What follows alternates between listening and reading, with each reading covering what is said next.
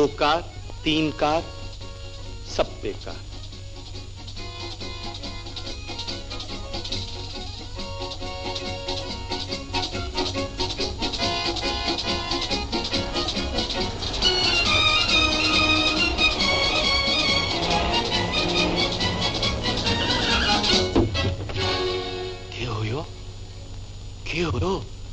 Driver क्या हुआ है?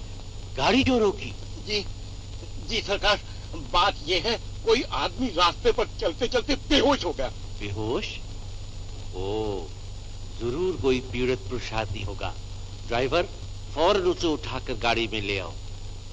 नंगी भूखी जनता की सेवा करना हमारा प्रथम मानव धर्म है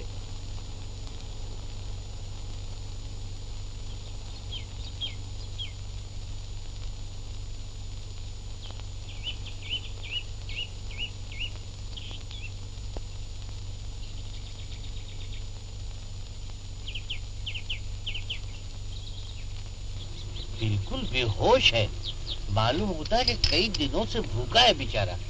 हो सकता है किसी के प्रेम का मारा हो। हम्म, मुझे तो कोई उठाई गिरा लगता है।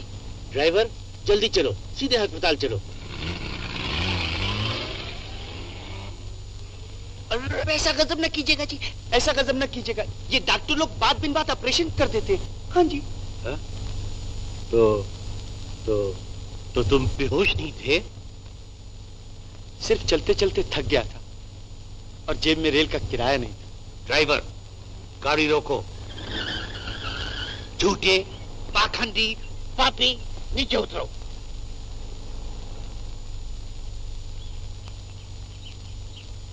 जैसी आपकी मर्ज़ी मगर अभी अभी तो आप अच्छे खासे थे। क्यों जी? इन महाशय को दौरा तो नहीं पड़ता। खामोश बदतमीज कहीं का। जानते हो किससे बात कर रहे हो? सेठ परमानंद। जाओ तुम हमारी दया के योग्य नहीं। अगर जीवन सुधारना चाहते हो तो आज से प्रतिज्ञा करो कि झूठ नहीं बोलोगे धोखा नहीं दोगे हमेशा सच बोलोगे। ये आपने उल्टा ही कहा। झूठ बोलने से ही तो बढ़िया कार में बैठने को मिलता है। नाजुक नाजुक हाथों से ओडी लोन लगाया जाता है और सच बोलने पर फिर वही जूतियाँ चटखानी पड़ती हैं सेठ जी। चलो ड्राइवर गाड़ी चलाओ। ये आदमी तो मुझे कोई 420 मालूम होता है। सेठ सोनाचंद धर्मानंद अगर मैं 420 हूँ ना तो याद रखो तुम भी।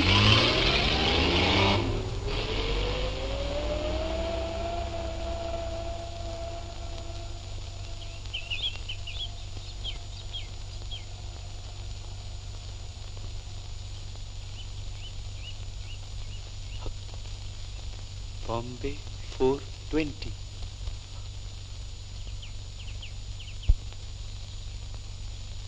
चल बेटा जापानी।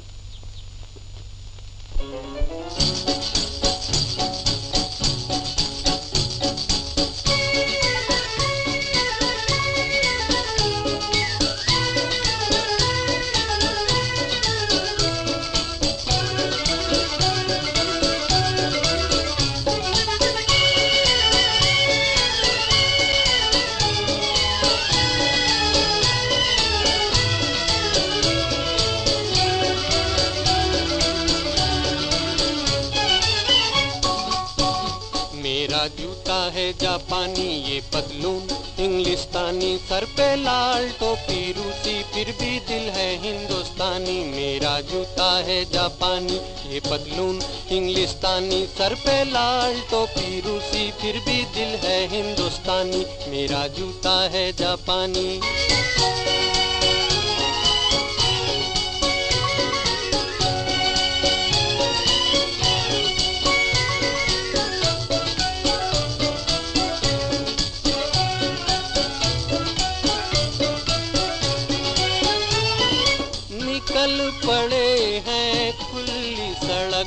पर अपना सीना ताने, अपना सीना ताने।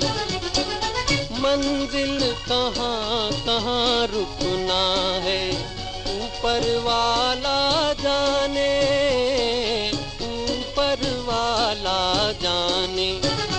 बढ़ते जाएँ हम सैलानी, जैसे एक दरिया तूफानी। सर पे लाल टोपी, रूसी फिर भी दिल है हिंदुस्तानी। मेरा जूता है जापानी, ये पतलून इंग्लिस्तानी। सर पे लाल टोपी, रूसी फिर भी दिल है हिंदुस्तानी। मेरा जूता है जापानी।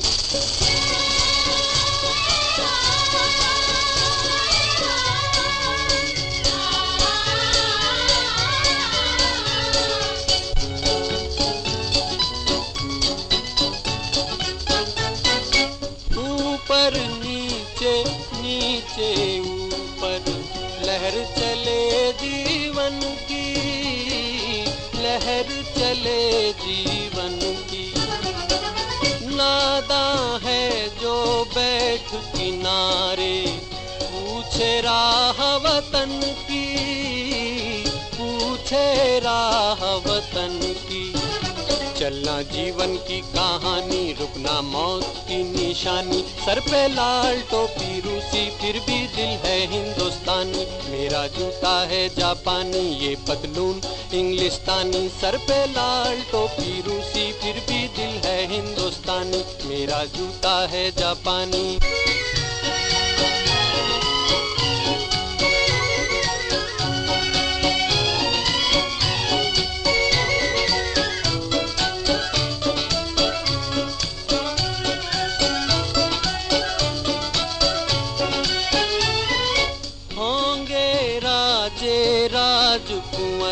हम बिगड़े दिल शहजादे बिगड़े दिल शहजादे। हम सिंहासन पर जा बैठे जब जब करे इरादे जब जब करे इरादे। सूरत है जानी, पहचानी, दुनिया वालों को हैरानी। सर पे लाल टोपी, रूसी फिर भी दिल है हिंदुस्तानी। मेरा जूता है जापानी, ये पतलून इंग्लिस्तानी। सर पे लाल टोपी, रूसी फिर भी दिल है हिंदुस्तानी। मेरा जूता है जापानी।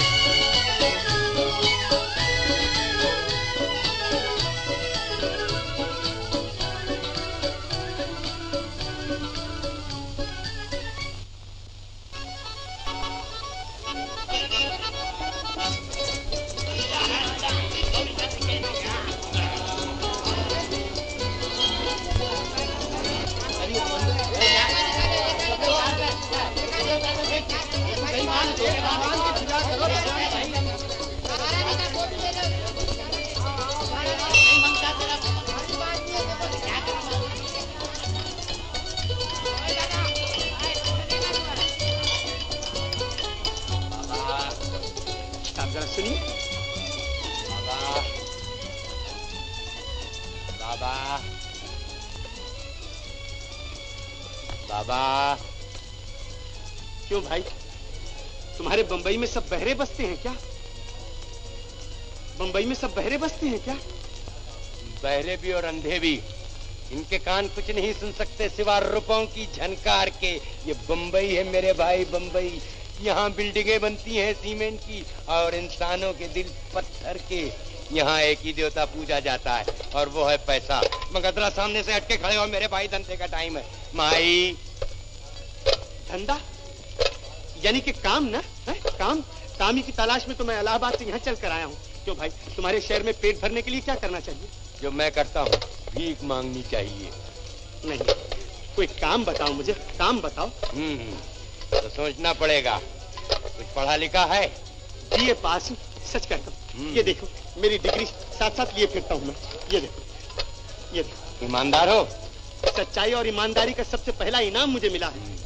सोने का मेडल ये हम्म, जवान हो मेहनत कर सकते हो। डबल जवान 24 घंटे दिन में काम कर सकता हूँ कोई करा के देख ले। तो तुम्हें काम नहीं मिल सकता। काम नहीं मिल सकता? पढ़े लिखे ईमानदार मेहनती जवान को काम नहीं मिल सकता? क्यों नहीं? इसलिए कि ये बंबई है मेरे भाई बंबई। बड़ा शहर यहाँ सच बोलकर पेट भरने का रास्ता ढूँढने से नहीं मिलता। और झूठ बोलकर पैसे बनाने के रास्ते हैं चार सौ बीस। Thank you boss thank you आज मैंने तुमसे बहुत कुछ सीखा। बहुत कुछ सीखा।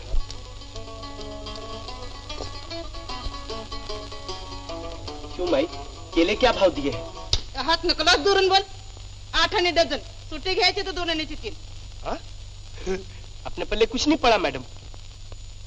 आठ आने का डजन छुट्टा लेगा तो दो आने का तीन। दो आने के तीन? छी छी छी छी ना बाबा ना। तीन आने के दो। ए, हे, हे, हे, तीन आने के दो। अरे फुकटचा माल आहे का धंदा कसा चालायचा? घेणे का होएगा तो दो आने का तीन लियो ना तो चालायला लागा बघू ऐसा क्या करती है? सोच लीजिए ना तीन आने के दो। नको देने का है तो दो आने का तीन लियो नहीं तो जाओ। तुम्हारी मर्ज़ी फिर सोच लो। दो आने आण्याचे तीन और तीन आने का दो। हाँ? ये? अरे ये ए! इकडे इकडे। अरे इधर आओ। तुमको तीन आने का दोन माँगता है ना? ले लो। ये बात हुई ना? वाह वाह। लेकिन पैसे? उसका तो मैंने बंदोबस्त ही नहीं किया। खैर फिर कभी सही। लेकिन लूँगा तीन आने के तो याद रहे? ए ले पैसा फिर दो ले ले अरे ले ले और अगर मैंने पैसे ना दिए तो? हम समझेंगे हमारे बेटे ने खाया। जा जा जा। कितना बड़ा है तुम्हारा बेटा? तुम्हारे एवढाच आहे तुम्हारे सरखत थैंक यू लेडी केले वाली धन्यवाद। एक बात बोलूँ। बुरा तो ना मानो। तुम केले वाली नहीं दिल वाली हो। दिल वाली लेडी केले वाली। थैंक यू तुम्हारे तीना ने मुझ पे उधार रहे।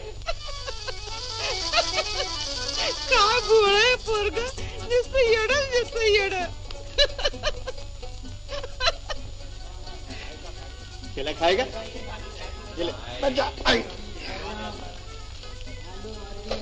मगर देख छिलका संभाल कर फेंकी कितने ही बेवकूफ़ होते परवाह ही नहीं करते।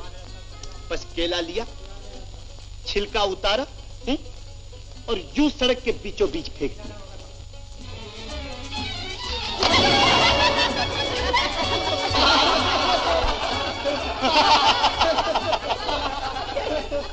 जाके गमा अनपढ़ कहीं के। केला खा के छिलका फेंकने की भी तमीज नहीं।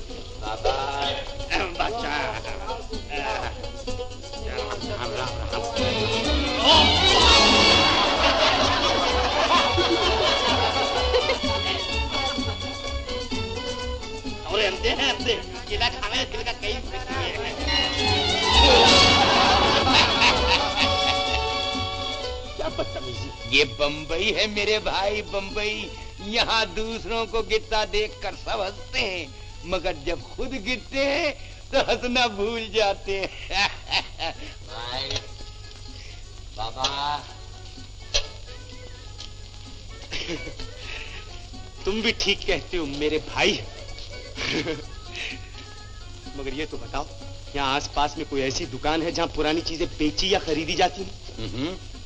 वो देखो रद्दी वाले की दुकान जहाँ हर चीज़ बेची और खरीदी जाती है। खुदा हाफिज क्यों विद्या बेटी?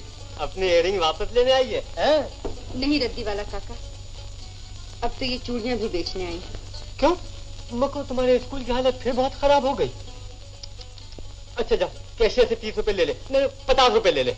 अरे ये क्या करती अपने पास रख जब तेरे पास पैसे हो मुझे दे जा।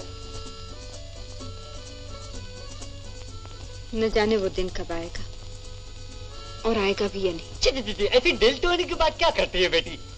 देखना, एक दिन कोई बिगड़ा दिल शहजादा, कहीं से घूमता, घामता आएगा। खूबसूरत नेक मालदार और तुझ जैसी खूबसूरत लड़की को देखकर एकदम चकाचौन हो जाएगा। और फिर तुझे ब्याह के ले जाएगा, इंशाल्लाह। और फिर इससे कहीं ज़्यादा अच्छे जेवर गहनों से तुझे लाद देगा। और फिर तू एक साथ सारे पैसे मुझे वापस कर देना, समझी? जा आप तो खुश है? जा पैसे ले ले। अपने बाबा का सलाम बोलना और बोलना मैं जुम्मा के दिन मिलने को आऊँगा। हाँ बाबा तुमने सुन जो ये छे। हाँ। क्या माँगता है साहब आपको? क्या दिखाऊँ? मुझे कुछ खरीदना नहीं है बेचना चाहता हूँ। तो, तो वास्ता खुला जिसको देखो बेचने को आता खरीदने को कोई आता ही नहीं। क्या बेचने का है आपको? ईमान बेचना चाहता हूँ। ईमान? क्या बोलता है? जी मैं ईमान बेचना चाहता हूँ। ये देखिए। ये है मेरा ईमान। राष्ट्रीय अनाथ आश्रम सच्चाई और ईमानदारी के लिए पहला इनाम राज इलाहाबाद। जी आप इस ईमान की क्या कीमत लगाते हैं? जब ईमान बिक गया तो ज़िंदगी में रहा है जी मुझसे कुछ कहा? जी जी नहीं। अच्छा रद्दी वाला काका मैं जाती हूँ। खुदा हाफिज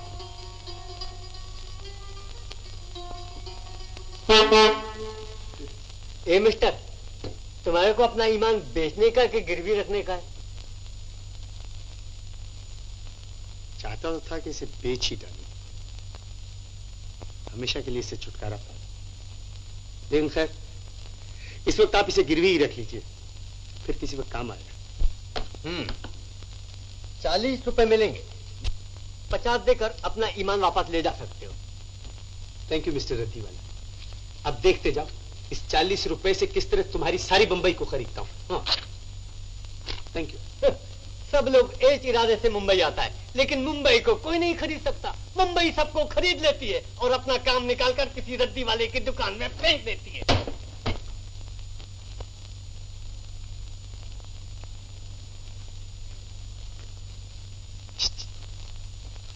आओ बीट आओ तो कोई भी लगा कोई भी एक रुपए एक का दो मिस्टर ध्यान की बाजू और अक्कल का काम कोई भी लगाओ कोई भी मिस्टर।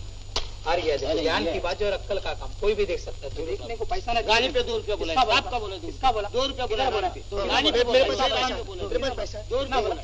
दो रुपये कोई भी चार रुपया कोई भी साहब देखने को और अक्कल का काम। ना बोला चार रुपया। चार रुपया। हार गया देखो कोई छह रुपये कोई भी देख सकता है। देखने को पैसा नहीं कितने मिस्टर इसके ऊपर दो रुपया। कितना बोला? दो रुपया। हार गया साहब देखो कोई भी लगाओ कोई भी मिस्टर ध्यान की बाजू और अक्कल का काम। दिखाओ उनको बराबर दिखाओ। देखो ये देखो देख सकता है मिस्टर देखने को पैसा नहीं लगता टिकट नहीं लगता पाँच रुपया इतना बोला साहब पाँच इधर रुपया है पैसा। है मेरे पास। पैसा बताओ मैं देता हूँ पैसा। पैसा बताओ ऊपर पाँच पैसा बताओ ऐसा थोड़ा मिलता है मिस्टर मुफ़्त का खेल नहीं इधर पैसा बताओ। मेरे पैसे? पैसा बताओ साहब। मेरे पैसे? मेरे पैसे किसने मार लिए? तुम लोग सब बदमाश हो चार सौ बीस हो। बोलते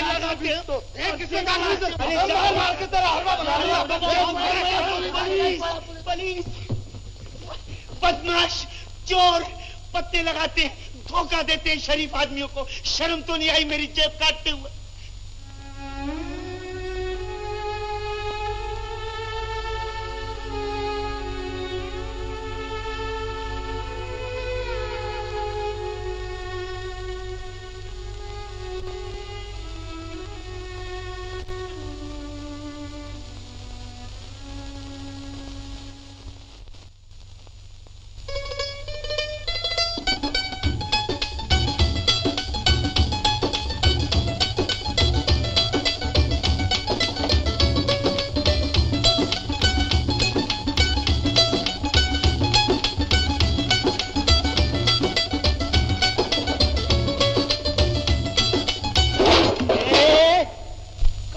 आ रहा। देखता नहीं जगह पहले से ही रिजवड़ है। जा जा ये और जगह देख। सुनिए अगर रात भर के लिए मैं यहाँ सो जाऊँ तो कोई हर्ज है? पगड़ी दे सकते हो? पगड़ी कैसे दे सकता हूँ? मैं तो रूसी टोपी पहनता हूँ। खुशी टोपी पहनता पगड़ी नहीं समझते। पगड़ी यानी नजराना यानी पैसा पैसा। तीन रुपए पगड़ी देकर ये जगह मैंने ली है। डेढ़ रुपया निकालो और आधी तुम ले लो। जल्दी करो जल्दी करो निकालो। डेढ़ रुपया? फुटपाथ पे सोने के लिए डेढ़ रुपया? हाँ हाँ डेढ़ रुपया। हम्म, और नहीं तो क्या? अरे बंबई शहर में तो फुटपाथ पर भी सोने के लिए पगड़ी देनी पड़ती है। और फिर ये फुटपाथ एकदम नरम बिल्कुल स्पेशल ठीक सेठ सोनाचंद धर्मानंद के महल के नीचे। वो देख। सोनाचंद धर्मानंद? हाँ हाँ सेठ सोनाचंद धर्मानंद। जब वो खाने पर बैठते हैं और उधर की हवा चलती है तो वो खुशबू आती है निकाल डेढ़ रुपया। आज तो मेरे पास जहर खाने के लिए भी पैसा नहीं है। मेहरबानी करके मुझे आज की रात यहीं सोने दीजिए। वो कट में बाप का हम तक का है क्या? अजी आप बाप तक क्यों पहुँचते हैं? चुप खामखा नाराज़ क्यों हो रहे हैं जी अगर मैं यहाँ रात सो जाऊँ आप क्या कर सकते हैं तो मेरा बताइए कहाँ सोने चला रहे बड़ा भाई, भाई, है? भाई,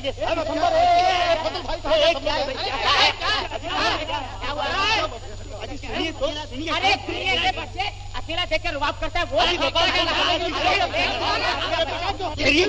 मैं पूछता हूँ क्या ये फुटपाथ आपका तो तेरे बाप का फुटपाथ है अरे अरे नहीं इसके बाप के फुटपाथ है नहीं तेरे बाप के फुटपाथ है ये तो अपने माँ बाप सरकार का फुटपाथ है हेलो लेडी केले वाली हेलो अरे अरे तूने इकडे कुठकडे आलास मारा? हाँ? अरे तुम इकडे कैसा आया क्या घोटाला है कोई घोटाला नहीं लेडी केले वाली चलते चलते थक गया था. सो यहाँ आराम करने बैठ गया। ये भाई लोग ये भाई लोग मेरी खातिर तवाजो कर रहे थे। हाँ? मारलं काय तुला? का रे मेल्यानो मस्ती आले का तुम्हाला? मारत का त्या पोराला? हा? हलकटान हो. चला निघा इथून. अरे वा मारलेत मेले पोळासारखे लागलं काय तुला? लागलं? कुठे राहतोस तू? किधर रहता तुम किधर रहता? किधर झोपता है कहीं नहीं।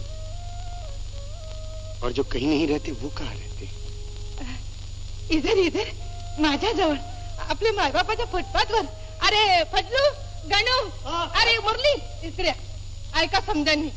हे आपलं पोरग आहे. हा? ह्याला समजांनी नीट सांभाळायचं? फाजीलपणा करायचं. हा आजपासून इथंच राहणार ज़रूर ज़रूर बा इस फुटपाथ पर अपने बाप का राज ठीक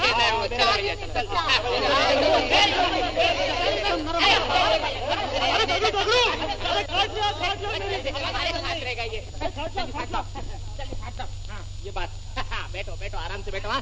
अरे चाय लाना और साथ में भजिया भी हाँ। हाँ हरा मिर्चा नहीं बोला माफ़ करना हमने तुमको एक चपत मारा था। कोई बात तो भाई हो ही जाती है ऐसे मामलों में। घबराओ मत। गंगा माई के बच्चे सब आपस में भाई भाई के बराबर। ठीक बोला ठीक मैं हम भी तुम्हारा भाई है हाँ? मगर तुम्हारा नाम क्या है? राज। राज? अरे वाह! सुना गंगा माई सुना। मैं कहता ना था कि एक दिन हम भूखे नंगों का राज ज़रूर आएगा। तो देख आ गया।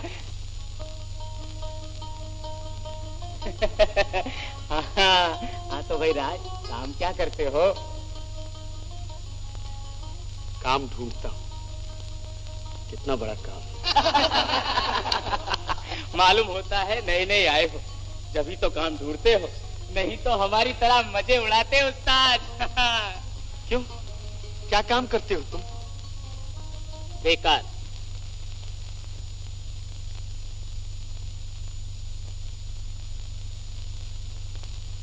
बेकार। अपनी राम कहानी तो एक ही शब्द में खत्म हो जाती है भैया। बेकार। खैर कुछ अपनी सुनाओ। कहाँ से आए हो? कहाँ जा रहे हो? क्या इरादे हाँ? भाई। अगर इस बिरादरी में रहना है तो कुछ हमारी सुनो और कुछ अपनी सुनाओ। कोई मज़ेदार बात सुना ना हाँ? अपना दिल बहुत दुखेला है।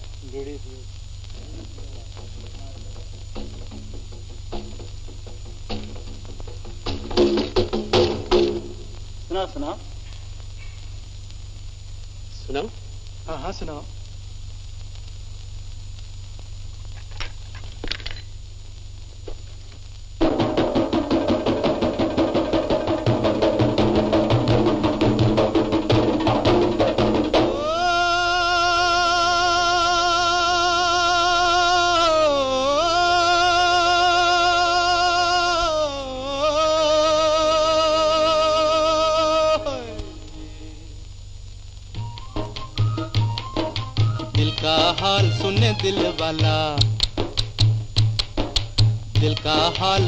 दिल वाला सीधी सी बात न मिर्च मसाला कह के रहेगा, कहने वाला दिल का हाल सुने दिल वाला। अज दिल का हाल सुने दिल वाला, सीधी सी बात न मिर्च मसाला कह के रहेगा, कहने वाला दिल का हाल सुने दिल वाला।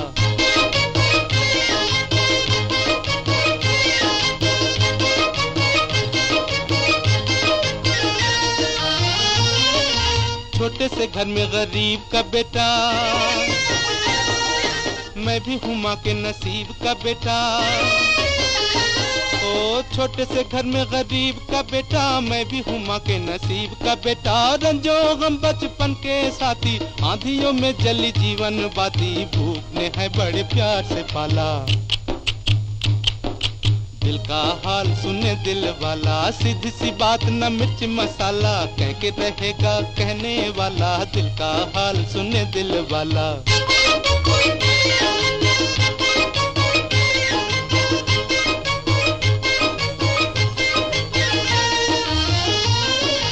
हाय करूँ क्या सूरत ऐसी? गांठ के पूरे चोर के जैसी। हाय करूँ क्या सूरत? ऐसी गांठ के पूरे चोर के जैसी चलता फिरता जान के एक दिन बिन देखे पहचान के एक दिन बाँध के ले गया पुलिस वाला। दिल का हाल सुने दिल वाला, सीधी सी बात न मिर्च मसाला, कह के रहेगा कहने वाला। दिल का हाल सुने दिल वाला।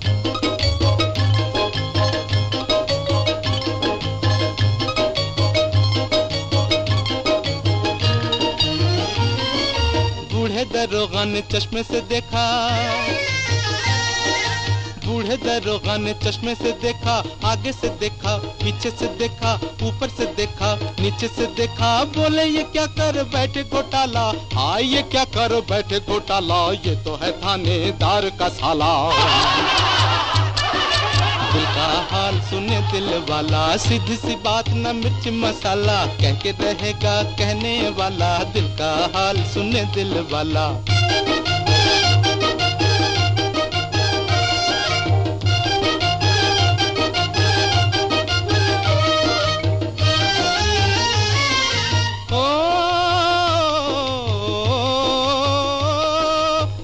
अभी आज़ाद नहीं मैं। खुश मगर आबाद नहीं मैं।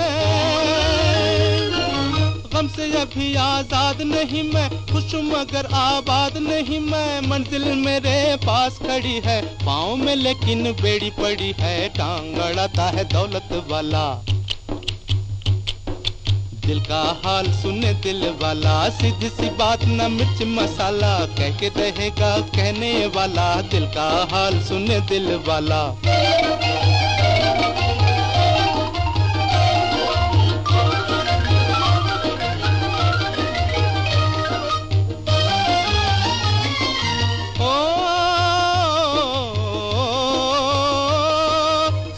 मगर ये किसी से न कहना। तिनके गले के सहारा न बहना। सुन लो मगर ये किसी से न कहना। तिनके गले के सहारा न बहना। बिन मौसम हार न गाना। आधी रात को मत चिल्लाना, वरना पकड़ लेगा पुलिस वाला। दिल का हाल सुन दिल वाला, सीधी सी बात न मिर्च मसाला, कह के रहेगा कहने वाला, दिल का हाल सुन दिल वाला।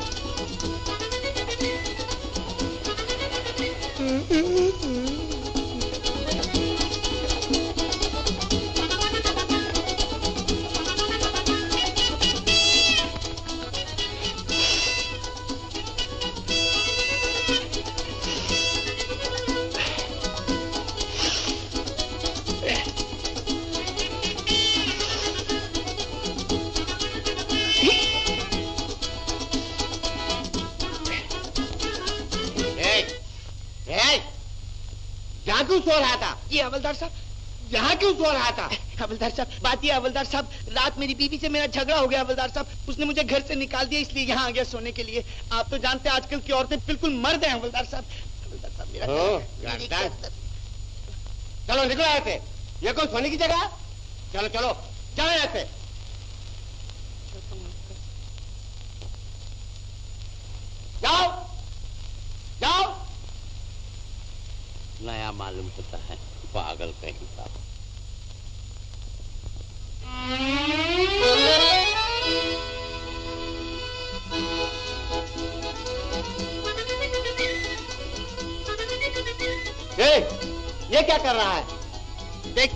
देखते साहब क्या कर रहा हूँ? ये सर के बल क्यों खड़ा है? सच्ची बात तो ये है हवलदार साहब की इस औंधी दुनिया को सीधा देखना हो तो सर के बल खड़ा होना पड़ता है।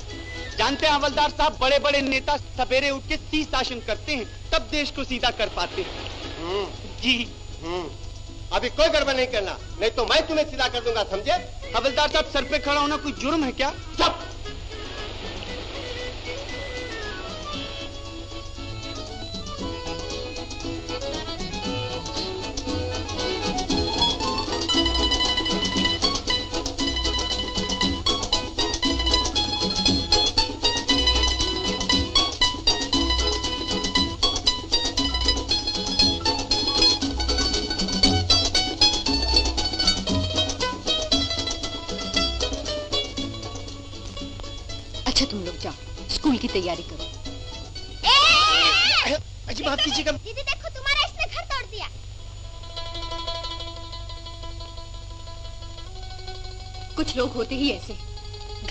नहीं जानते गिराना जानते ईमान बेचते हैं और पाप मोड़ लेते हैं।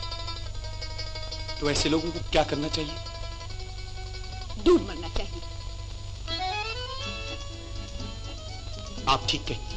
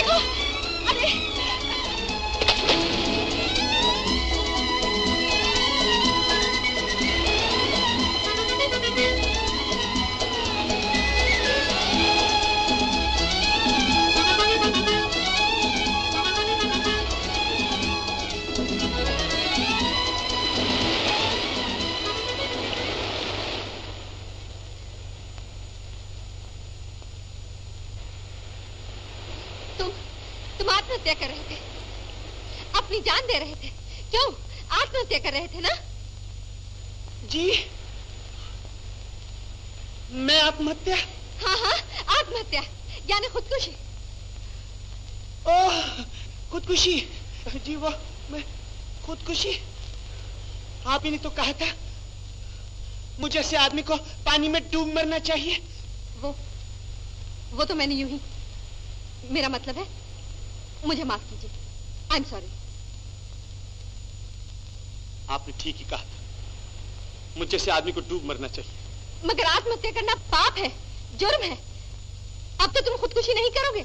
क्यों नहीं करूँगा? ज़रूर करूँगा। जब और सब पाप कर लिए तो यही क्यों रह जाए? आपने मुझे पानी में डूबने से बचा लिया तो क्या हुआ?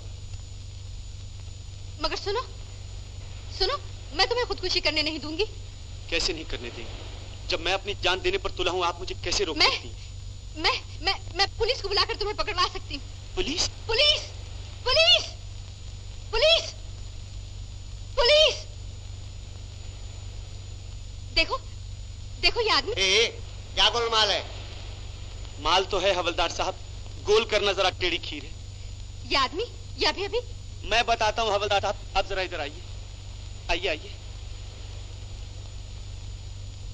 हवलदार साहब ये वही है। कौन? तुम्हारी घरवाली? जी हाँ बिल्कुल वही है। सूरत से तो बुरी नहीं लगती।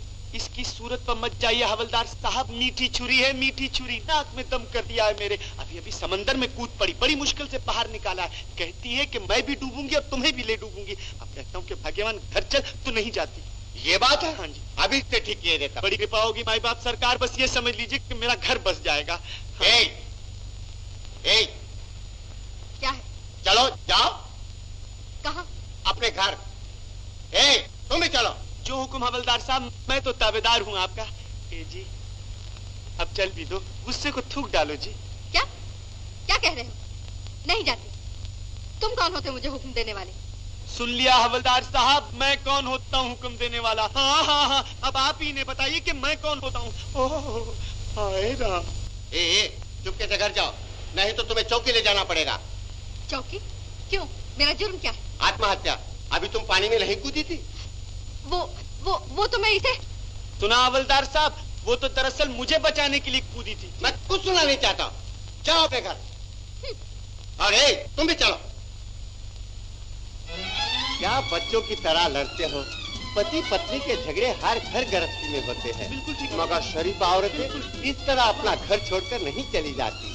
तुम लोग नए जमाने के हो। औरत घर की लक्ष्मी है घर की शोभा है। तुम लोग क्या समझो? हिंदुस्तानी लड़कियों का धर्म है। अपने पति को देवता मानना चाहिए। अपने पति की सेवा करना चाहिए। बस बस। यही मेरा घर है। अब आप लोग जाइए। फिर गड़बड़ मचा। जो अपना घर बताओ ये मुँह क्या देखता है? लेके जाओ उसको। शर्म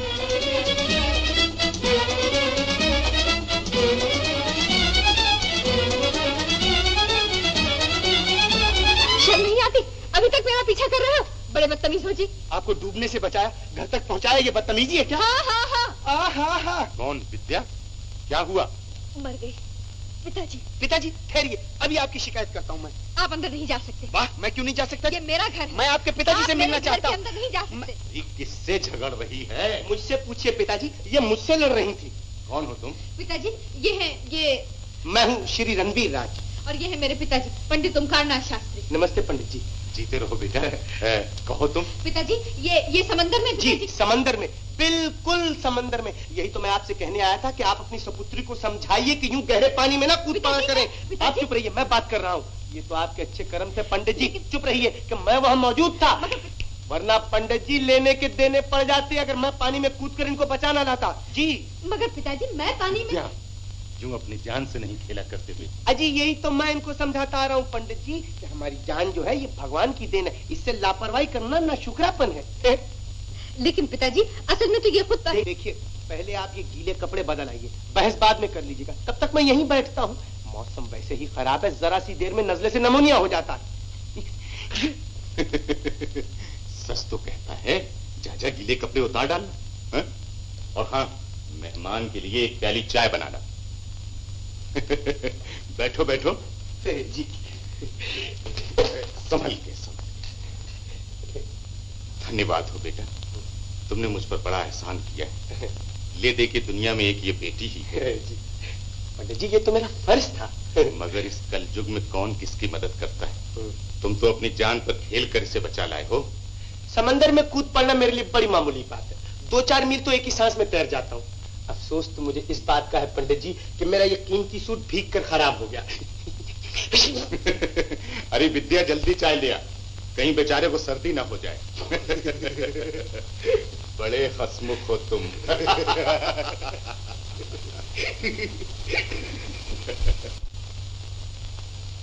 ओह, आपने तो खामा खा तकलीफ़ की। चाय गरम जरा संभाल कर पीना सुना है झूठ बोलने वाले की जबान जल जाती। क्या हुआ बेटा? जबान जल गई क्या? जी नहीं। दिल जल गया। बड़े हसमुख हो तुम। अरे विद्या जल्दी कर। तेरे बच्चे तेरी राह देख रहे होंगे। बच्चे? हाँ। अभी तो सिर्फ़ पचास ही हैं। पचास? अच्छा पिताजी मैं चली। छोटा सा ही स्कूल है हमारा। स्कूल? हाँ। हाँ, स्कूल? हाँ। जब से भगवान ने टांगे भी मुझसे ले ली विद्या बेटी ही अकेली स्कूल को चलाती। बड़ी मुश्किल से गुजारा होता है। गरीब इलाका है ना? माफ़ करना बेटा। आज हमारे यहाँ तुम्हारी खातिर करने को कुछ भी तो नहीं। देखो तो। मेहमान को बिठाने के लिए घर में कोई ढंग की कुर्सी भी तो नहीं। हा? क्या बात करते हैं पंडित जी? जी जी जी जी जी जी। आपके यहाँ का फर्नीचर तो फ़र्स्ट क्लास फर्नीचर है जी। अरे चोट तो नहीं लगी। आप फ़िक्र मत कीजिए पंडित जी। दरअसल आपकी कुर्सी का कोई कसूर नहीं। मेरा वज़न ही कुछ बढ़ गया है।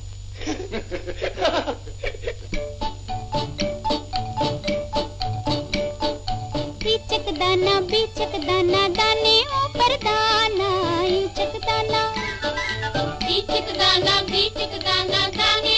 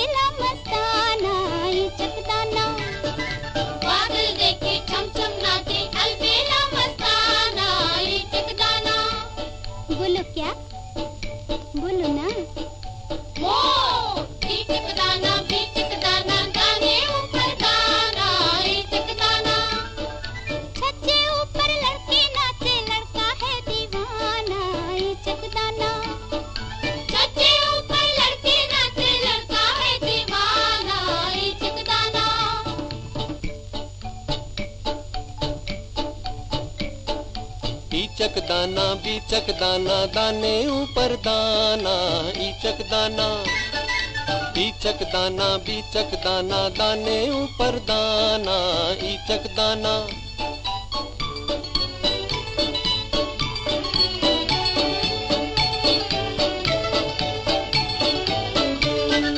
चाले वो चल कर दिल में समाया खा पी गया वो किया है सफाया। लड़के को बचकर रहना चक्कर में न आना ई चकदाना तुम भी देखो बचकर रहना चक्कर में न आना ई चकदाना क्या? हम। हाँ,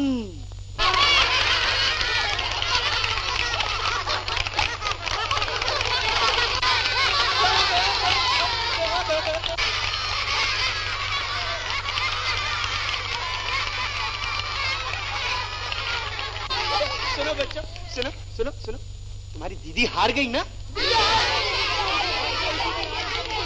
तो इस खुशी में तुम सबको छुट्टी।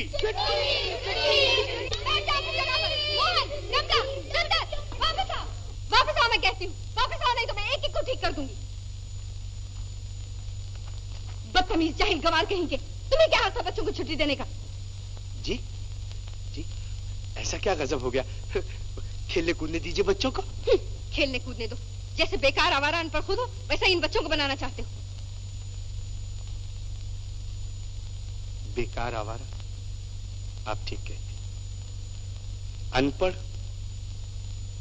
यही मेरी बदकिस्मती है देवी जी कि मैं अनपढ़ नहीं।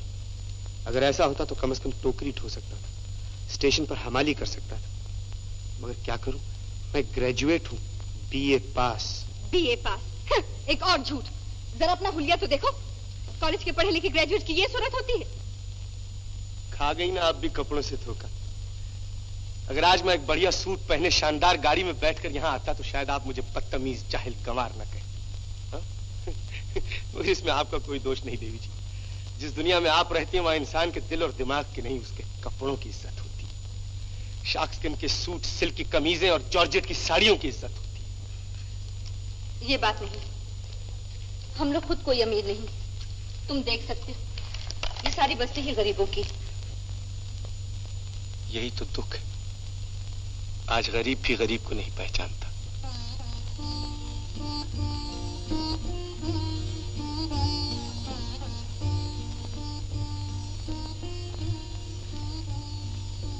मेरी जापानी हालत देखकर आपको मेरे पढ़े लिखे होने का भी यकीन भी। इसलिए तो अपनी डिग्री साथ साथ लिए फिरता हूँ। ये देखिए। मैं वाकई बीए पास हूँ ग्रेजुएट हूँ। ये देखिए मेरी डिग्री देखिए। माफ़ करना मैंने तुम्हें गलत समझा। मगर ये समझ में नहीं आता तुमने अपनी ये हालत क्यों बना रखी है? ये ये मस्करों जैसी हरकतें क्यों करते हो?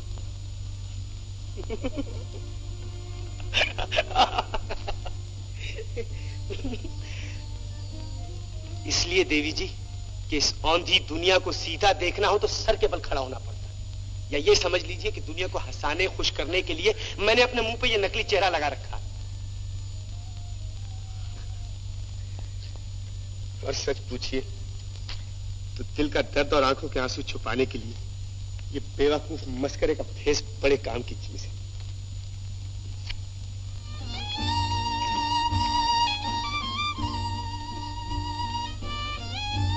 ठहरो। ठहरिए। पंडित घर में। सुनिए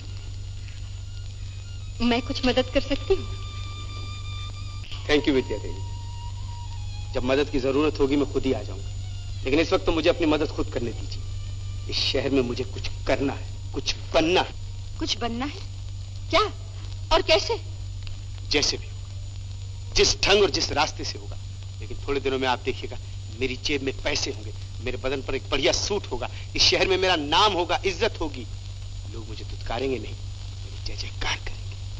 जय जयकार। जी की। धर्मानंद की।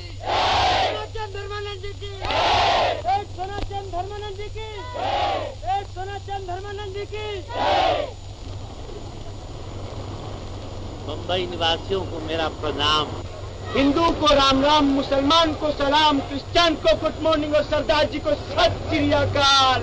आप सब जानते हैं कि मेरे आदर्श में धर्म और राष्ट्रीय संस्कृति का कितना ऊँचा स्थान है। मुझे देखिए, मेरे वस्त्रों को देखिए, टोपी से लेके चप्पल तक, जो कुछ मैं पहनता हूँ, वो स्वदेशी है। मेरी तरफ़ देखिए मेरे लिबास का मुआयना कीजिए। मेरे जूते हैं जापानी, ये पतलून इंग्लिस्तानी, सर पे लाल टोपी रूसी, फिर भी दिल है हिंदुस्तानी। समझे ना भाई लोग? अपने पास एक ही चीज़, सोलह आने स्वदेशी है, और वो है मेरा हिंदुस्तानी दिल। आज सारे संसार के सामने जो कठिन समस्याएँ हैं, उनमें सबसे बड़ा सवाल है। रोटी का। आप समझे ना? रोटी यानी चपाती नान भाकर खानी इडली डोसे मीट भाकर किस नाम से भी पुकारिए दुनिया में रोटी से बढ़कर प्यारी चीज़ कोई नहीं। क्यों भाई? हाँ। है। रोटी से भी बढ़कर इंसान के लिए ज़रूरी चीज़ है उसकी आत्मा उसके मन की शांति। और मन की शांति मिलती है पेट भरने से। क्यों भाइयों झूठ कहता हूँ। हाँ झूठ कहता है। जो कोई धर्म को आत्मा को श्रद्धा को झुटलाता है और उसके बदले में ये रोटी का नया और जहरीला धर्म फैलाता है हाँ तो भाइयों जिन्होंने रोटी खानी हो इधर आ जाएँ और हवा खाने वाले उधर चले जाएँ।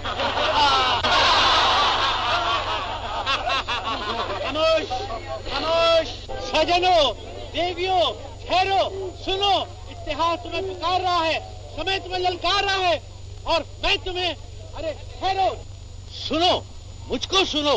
मैं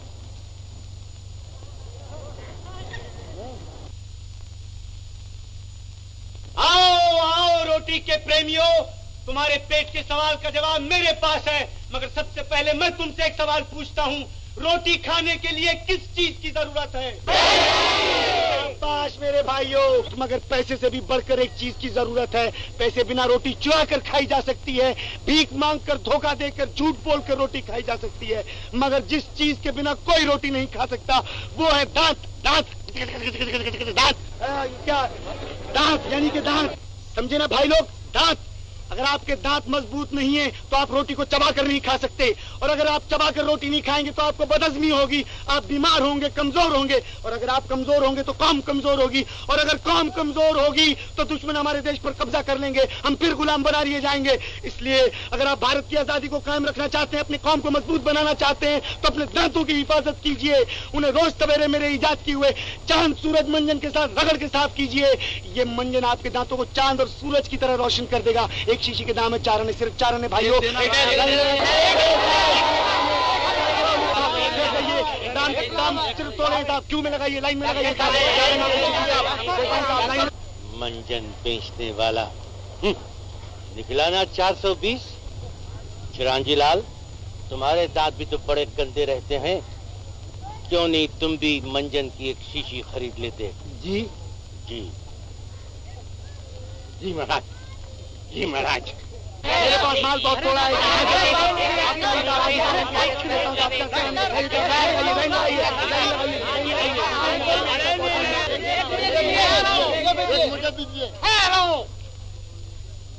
बताइए ये मंजन किस चीज़ से बनाया है तुमने? इसमें पीसी हुई हटिया तो नहीं है। नहीं नहीं इसमें पिसे हुए कोयले और चौपाटी की खालिश रेत के सिवा और कुछ नहीं है जी। सुना तुम लोगों ने इस चार सौ फ़ीस ने हम लोगों को धोखा दिया है। मंजन की जगह रेत बेचता है। हमारी आँखों में धूल जोड़ता है। मंजन की जगह रेत बेचता है। अरे सुना तुम लोगों ने। मारो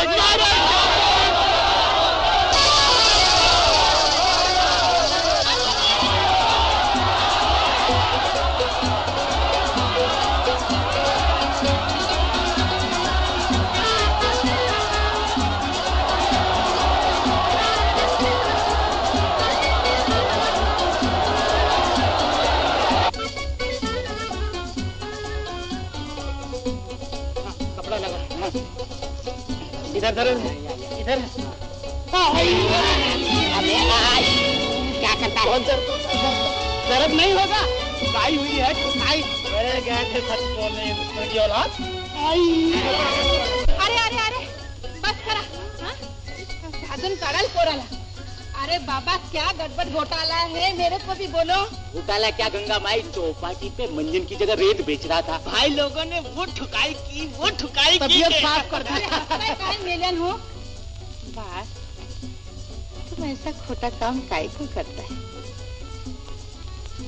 तुम ही बताओ गंगा माई मैं क्या करूँ?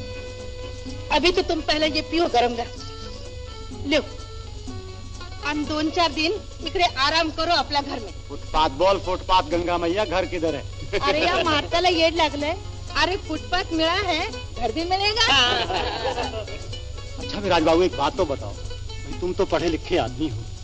क्या ऐसा नहीं हो सकता ये हमारी माई बाप सरकार हम लोगों के लिए छोटे छोटे घर बना दे? छोटे छोटे हो सकता है। हम जैसों के भी घर होंगे। लेकिन किराया देने के लिए भी तो पैसा चाहिए। पैसा कहाँ से आएगा इसलिए घर से पहले हमें नौकरी चाहिए काम चाहिए। अरे यार काम भी कोई काम का हो। अभी तुम देखो हाँ? अपन एक लॉन्ड्री में काम करता था। दिन रात मेहनत करता था। मालिक अपने को पैंतालीस रुपया पगार देता था। उसमें से बीस रुपया काट लिया। क्यों? कि जरा सा मेम साहब का एक फराक जल गया। ये भी कोई इंसाफ है? धत अपन तो नौकरी छोड़ के आ गया ठीक किया। चुकता कर गए।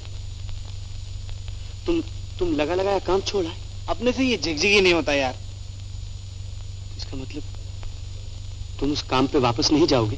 अरे अपन तो कोई नया ठिकाना ढूंढ लेंगे। ठीक है। कहाँ काम करते थे तुम? वही पारसी बाज़ार में जय भारत लॉन्ड्री। पारसी बाज़ार। जय भारत लॉन्ड्री।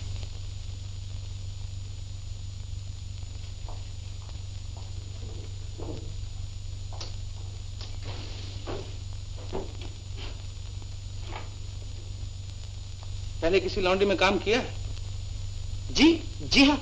इससे पहले मैं सनलाइट सोप कंपनी में मेरा मतलब है जी सनलाइट लॉन्ड्री में काम करता था मद्रास। वो कपड़े धोता हूँ कि वाह वाह वाह मैं खुद कैसे तारीफ़ करूँ? स्त्री कर सकते हो? स्त्री स्त्री का तो मामला ऐसा है जी कि तनख्वाह मिले अच्छी और रहने को मकान मिले तो स्त्री भी कर सकता हूँ। अरे भाई वो स्त्री नहीं ये स्त्री। आयरनिंग आयरनिंग ओ मैं ये स्त्री समझा था जी।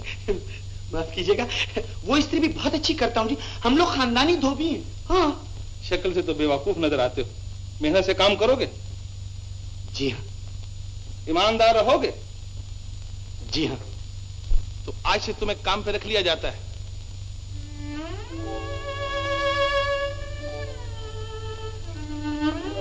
Thank you sir thank you very much पैतालीस रुपए महीना पगार मिलेगी। जाओ अंदर काम करो। थैंक यू वेरी मच बहुत बहुत शुक्रिया। बहुत बहुत शुक्रिया।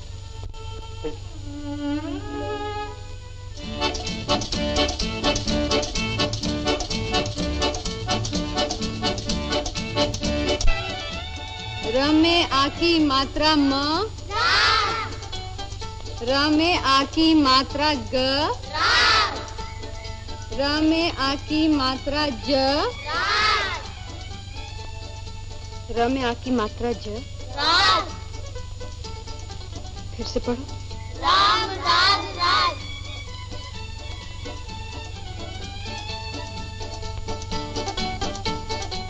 मुझे माफ़ करना। मैंने तुम्हें गलत समझा। मगर ये समझ में नहीं आता तुमने अपनी ये हालत क्यों बना रखी ये मस्करों जैसी हरकतें क्यों करते हो?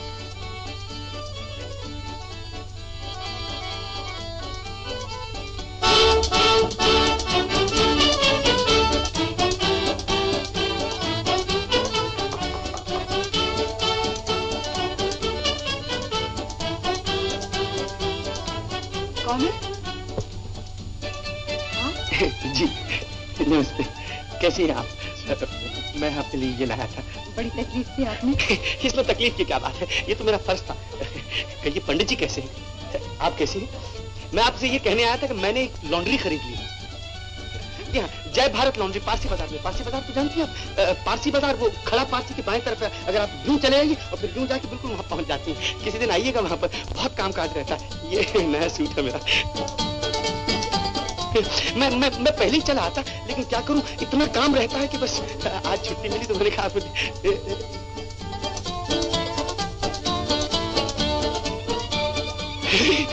बहुत काम रहता है मुझे, मैं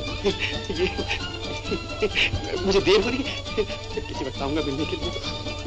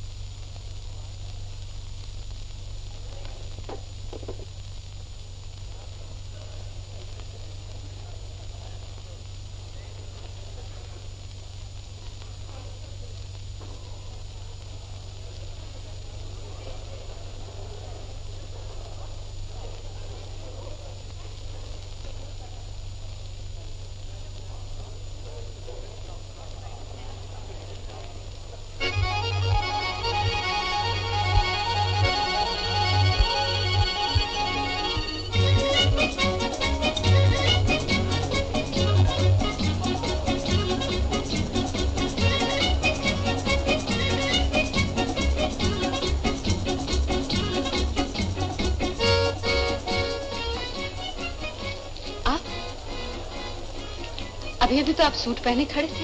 फिर खा गए कपड़ों से धोखा। अजी आदमी कपड़ों को पहनते हैं कपड़े आदमियों को नहीं पहनते। क्या मतलब? वो देखिए कपड़े वो रहे।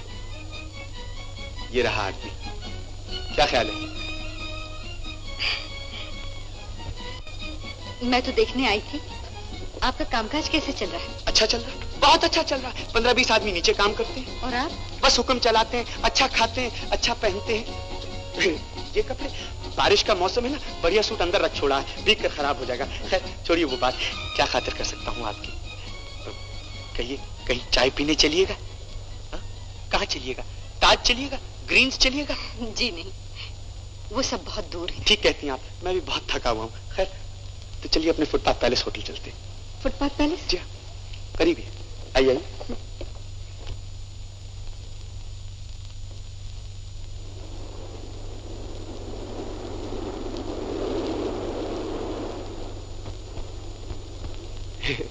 ये है हमारा फुटपाथ रेस्टोरेंट। फर्नीचर इसका ऐसा वैसे ही है। खैर आप बैठिए बैठिए बैठिए। मैं अभी आया। नमस्ते काका।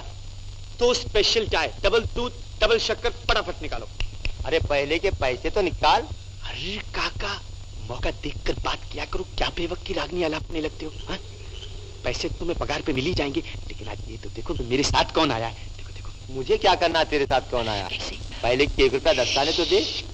काका तुम इन बातों को नहीं समझोगे। काका आ चाय पिला दे। इज़्ज़त रख ले मेरी काका इज़्ज़त रख ले चाय पिला दे। हम्म पर आज के पैसे नकद लूँगा।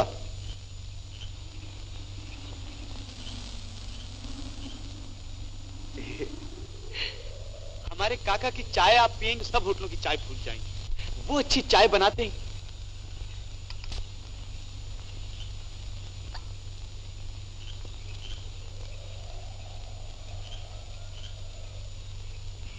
अ, अ, आपके पास छुट्टे दो आने हैं जी?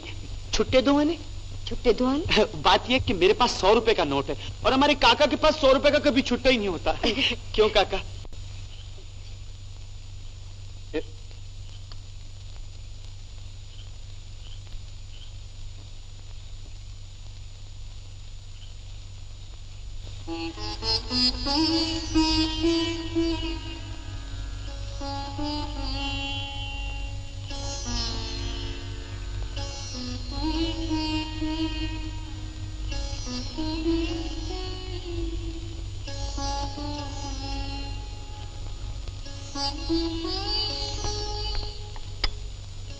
मैं आपसे कुछ कहना चाहता हूँ। जब एक शरीफ लड़का किसी शरीफ लड़की से प्यार करता है तो उन्हें शादी कर लेनी चाहिए।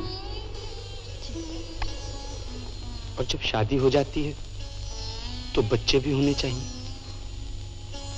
और जब बच्चे हो जाते हैं तो उनके लिए घर चाहिए।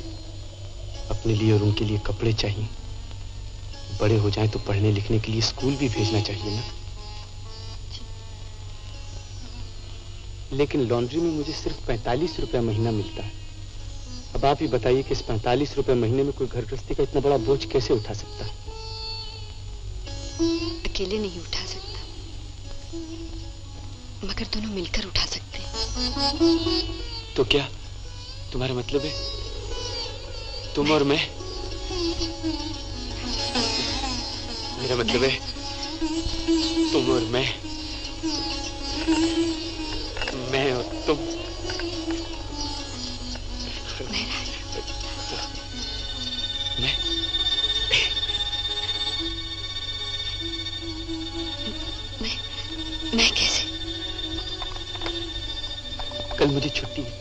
सुबह मैं तुम्हारे पिताजी से मिलने आऊँगा ठीक है ना?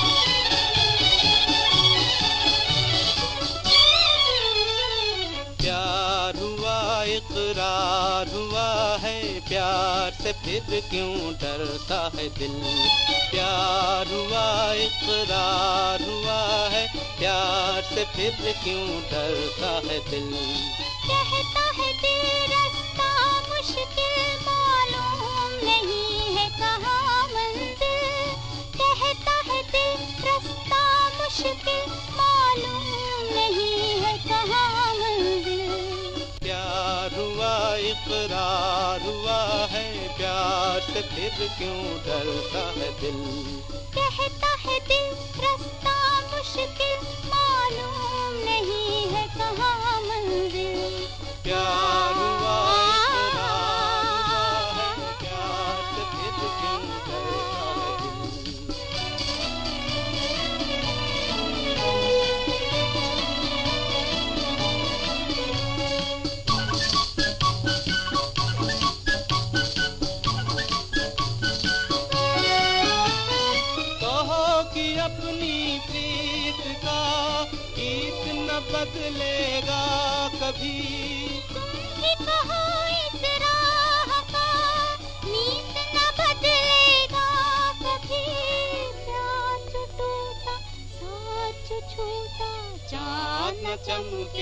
ना कभी।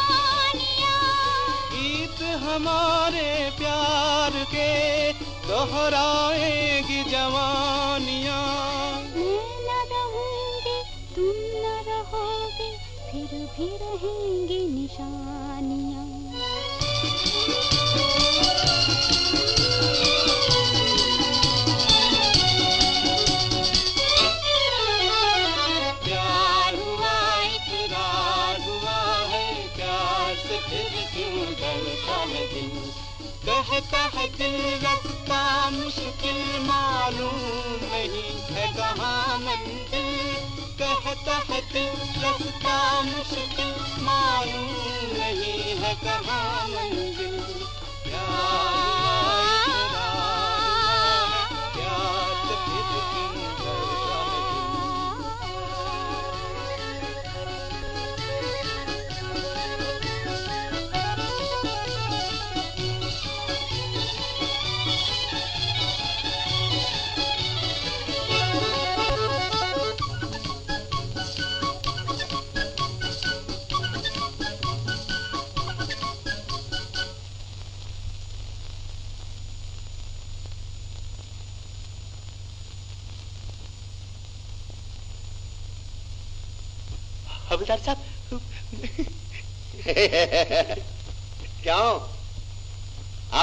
हमारी स्त्री गर्म नहीं होती।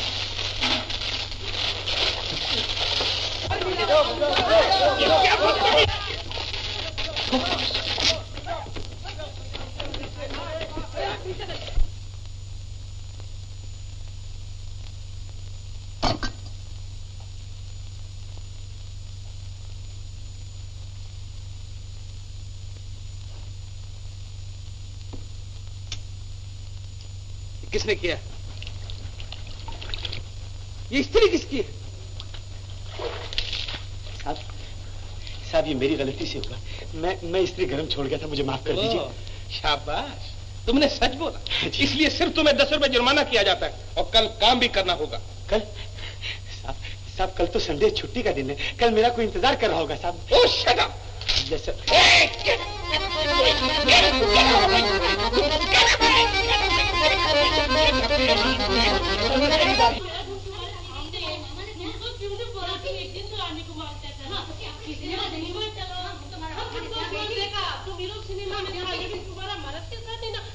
अप था मेरे को क्या मालूम? ऐसा बोला ना तो कौन था? मेरे को क्या मालूम? मुँह तुम्हारा कभी नहीं खाते तुम्हारा साहब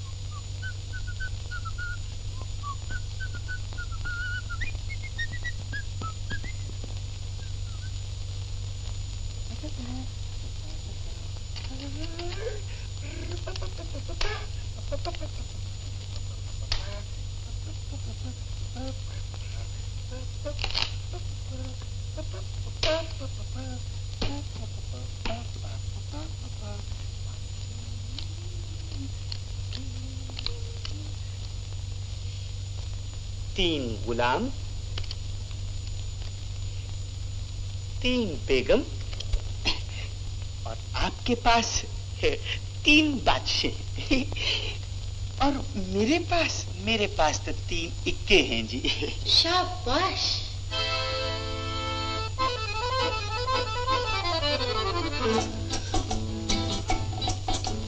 बहुत खूब। माफ़ कीजिएगा मैम साहब। जी मैं वो वो वो कपड़े जी जी मैम साहब जी वो बात ये है जी कि मैं लॉन्ड्री से कपड़े लाया। जॉनी का ड्रेस सूट होगा।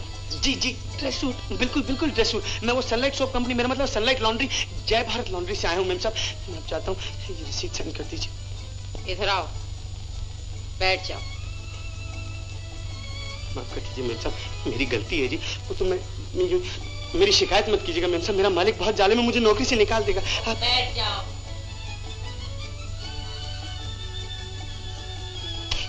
मेम साहब मैं कुछ नहीं जानता जी मैं कुछ नहीं जानता। करो।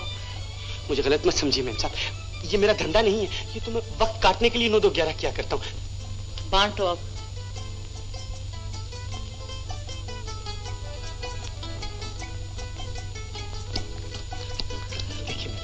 देखिए अपने पत्ते, तीन इक्के हैं आपके पास। सच कहता हूँ, मैम साहब, मैं चार सौ बीस नहीं हूँ। तीन राशि है मेरे पास।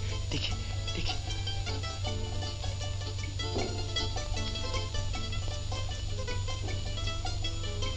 कमाल है। बहुत खूब। तो मैं जाऊँ, मैम साहब?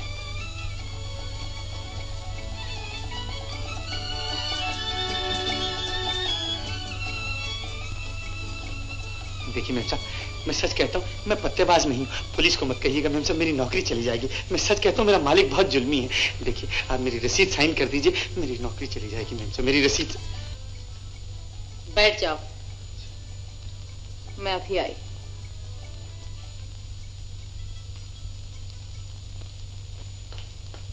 जॉनी जॉनी जॉनी, मेरी बात सुनो। ये बड़े पत्तेबाज बनते हो उस कमरे में आओ। सचमुच का जादूगर दिखाऊँ। जब भी पत्ते बांटता है तीन एक ही निकालता है। जॉनी जॉनी उठ जाओ। ओह शराब शराब शराब। कभी तो होश में आया करो। जॉनी जॉनी पार्टी में जाना है देर हो रही है। पार्टी? कैसी पार्टी? मुझे कहीं पत्ते वत्ते खेलने नहीं जाना है। जॉनी कुछ तो सोचो कि मैं कितनी मुश्किलों से ये दावतें लाती हूँ और तुम हमेशा शराब में बेहोश पड़े रहते हो।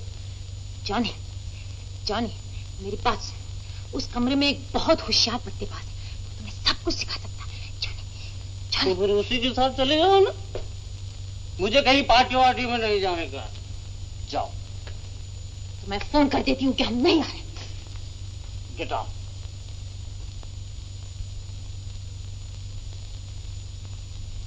पुलिस को मत बुलाइए मेम साहब। पुलिस को मत बुलाइए। मैं बड़ा गरीब आदमी मैंने आपका कुछ नहीं बिगाड़ा मेम साहब। पुलिस?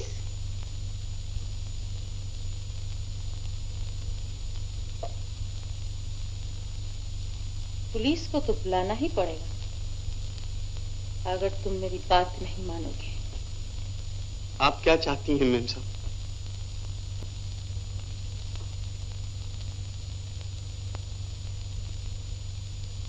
देखिए मुझे गलत मत समझिए। मैं शरीफ आदमी हूँ। आप मेरी रसीद साइन कर दीजिए मेम साहब मैं चला जाता हूँ। वो भी हो जाएगी। ड्रेस सूट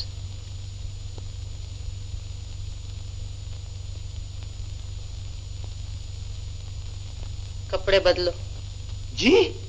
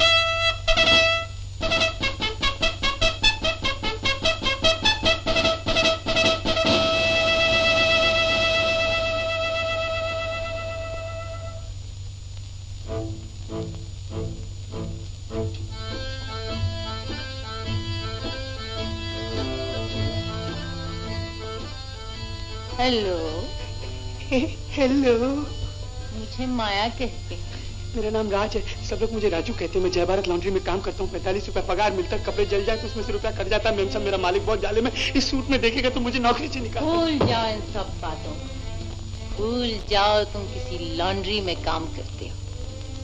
ये भी भूल जाओ कि तुम्हारी तनख्वाह सिर्फ़ पैंतालीस रुपए है। मैं तुम्हें एक नया जीवन देना चाहती हूँ। समझे? इस वक्त तुम वो लॉन्ड्री में काम करने वाले राजू नहीं हो। राजकुमार हो, बड़े आदमी हो, अमीर हो, दौलतमंद हो, तुम्हारे तन पे अच्छे अच्छे कपड़े हैं। इस लिबास में तुम जहाँ भी जाओगे, लोग तुम्हारी इज़्ज़त करेंगे। बड़े बड़े सेठ साहूकार तुमसे बात करने में अपनी शान समझेंगे। बस देखते जाओ मैं तुम्हें कहाँ से कहाँ पहुंचाती हूँ। जहाँ दौलत है, इज़्ज़त है, ऐश आराम है आज मैं तुम्हारे लिए एक नई दुनिया के दरवाजे खोल रही हूँ।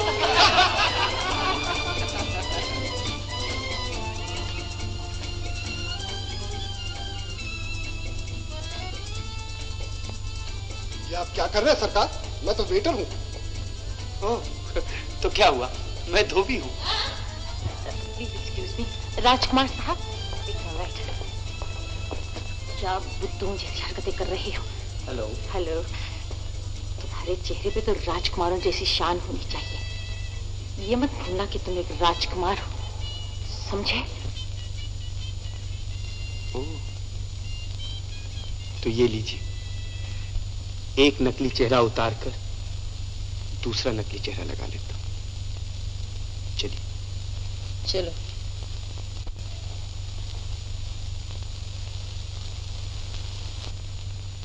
हेलो माया। बड़ी सडनली ये चाँद किधर से चमका? हेलो पीलाचंद जी इनसे मिलिए।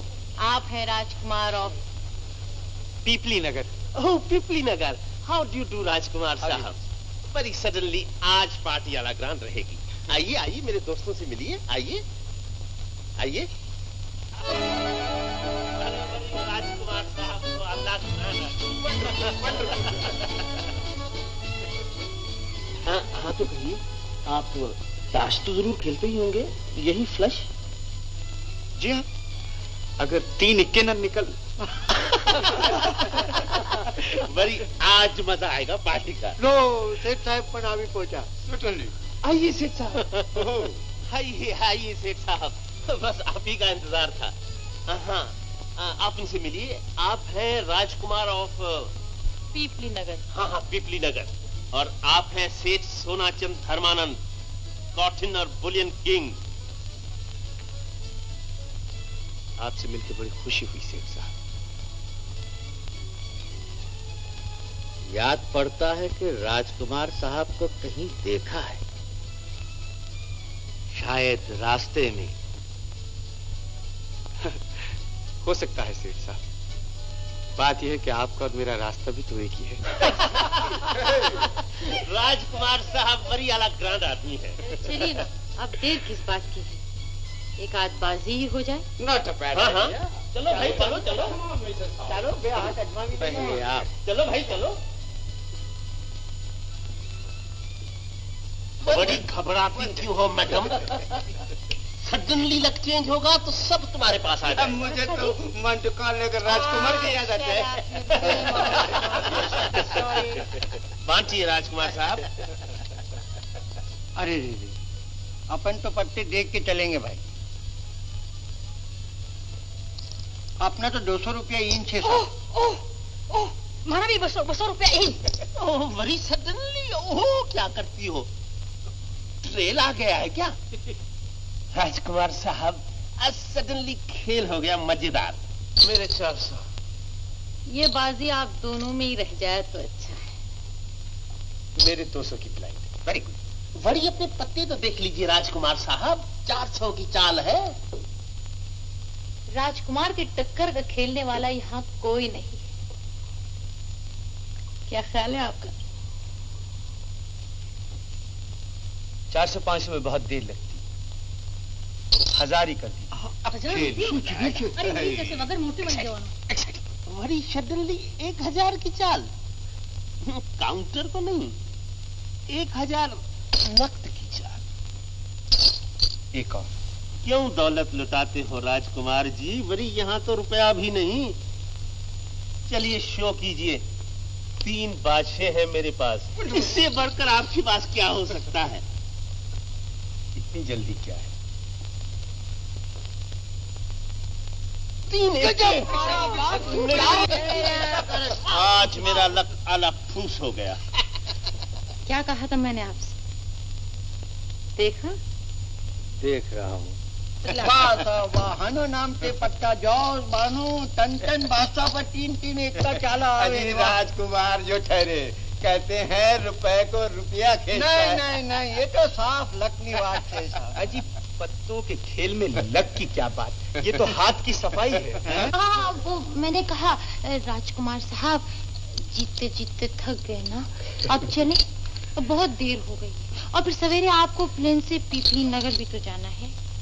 जी। जी। ओ जी जी तो ये काउंटर्स आप कैश करा दीजिए। यस यस प्लीज़ है प्लीज़ है अच्छा तो इजाज़त है? जरा ठहरिए राजकुमार साहब। एक बाजी हमसे भी हो जाए। तो बड़ी सडनली ये तो अलग ग्रांड हो गया। वाह साहब बैठिए बैठिए सेठ साहब वेरी गुड वेरी एक्साइटिंग ये तो बिल्कुल मांटो कार्लो वाला किस्सा हो गया। काउंटर से नहीं नकद बात तो बहुत मज़े की है। हो जाए राजकुमार साहब?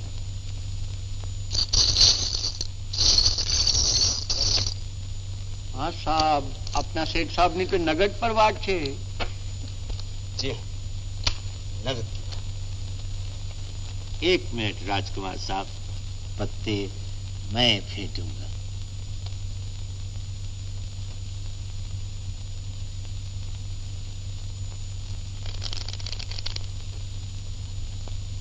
राजकुमार साहब अब बात ये। जी नहीं। अब मैं नहीं बांटूँगा आपने मुझ पर शुभा किया है। मेरी इंसल्ट की है सेठ साहब। इसलिए पत्ते आप बांटे। ये मेरी इज़्ज़त का सवाल है। वेरी गुड वेरी गुड बांटिए साहब बांटिए सौ रुपया ब्लाइंड। दो सौ ब्लाइंड। दो सौ ब्लाइंड इस तरह बहुत देर लग जाएगी? बस एक ही दफ़ा में हज़ार ब्लाइंड हो जाए। हज़ार ब्लाइंड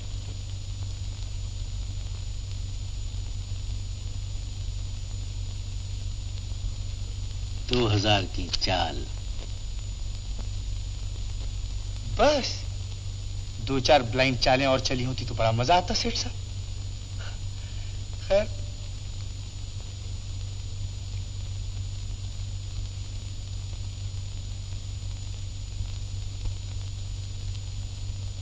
चार हज़ार की चाल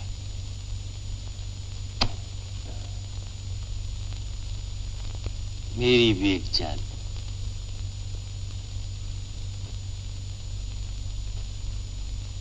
मामला गंभीर है। सेठ साहब इजाज़त हो तो मैं अपने बड़े भाई से मशवरा कर लूँ। टेलीफोन पर। पूछ लीजिए। लेकिन पत्ते आपके सामने रहेंगे। वेरी गुड वेरी गुड अपना सेठ ने पन टक्कर वाला मिला के। ये राजकुमार साहब बड़े दिल वाले हैं। ए, क्यों माया देवी? ये पीपली नगर कहाँ है? उत्तर प्रदेश में? जी नहीं मध्य प्रदेश में। जी जी भाई साहब पत्ते पत्ते वही हैं जी। जी हाँ। जी पचास हज़ार? हो, बहुत अच्छा जी। हाँ। माता जी से कहिए, मैं भी आता हूँ। भाई साहब कहते हैं, अगर पत्ते अच्छे हैं तो पचास हज़ार तक चल सकते हो।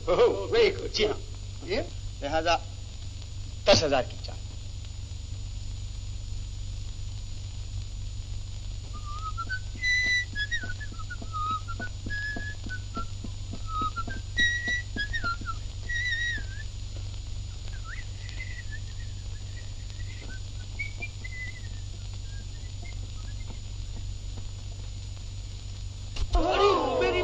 क्या किया सेठ साहब? शो तो करवाई होती। जी नहीं। मालूम होता है आपके पास फिरती लिख के आ गए खैर यही सही। तो इजाज़त है मैं ये राजकुमार साहब प्लीज़ अब तो पत्ते दिखा दीजिए। दो तीन पाँच यही मन माफ़ कीजिए सेठ साहब आपका बड़ा नुकसान किया मैंने। नुकसान की क्या बात है? आपसे मुलाकात हो गई। इसमें फ़ायदा ही फ़ायदा है।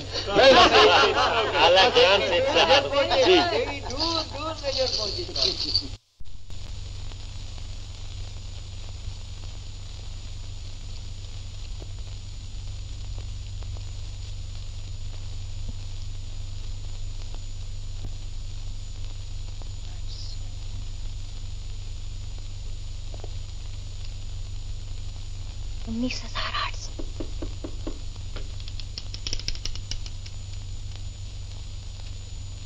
मेम साहब ये ये ड्रेस सूट रख दो उधर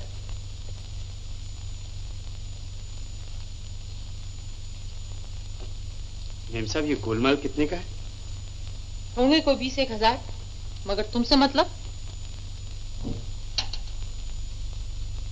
बीस हज़ार इतना रुपया? और ये सब मैंने अपनी चालों से बनाया है मेम साहब। तो अब तुम अपनी सबसे तेज चाल दिखाओ और यहाँ से चलते फिरते नज़र आओ।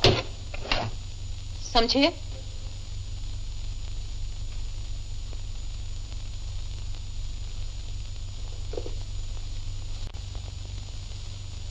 साहब ये रुपया मैंने कमाया है।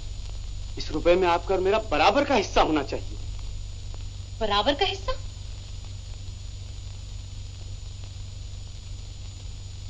मेरी बराबरी करते हो? तुम हो कौन? तुम्हारी हैसियत क्या है? मैंने चंद घंटों के लिए तुम्हें एक नई ज़िंदगी उधार दे दी तो दिमाग खराब हो गया। हम लोगों की बराबरी करते हो। अपने औकात मत भूलो कि तुम एक लॉन्ड्री में पैंतालीस रुपए में नौकर हो। कपड़ों पे नज़र डालो अपनी सूरत आईने में देखो। और जाओ वापस उसी गटर में जहाँ से तुम आए हो।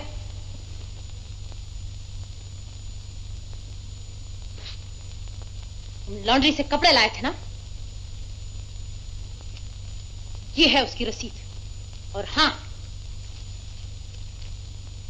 ये लो।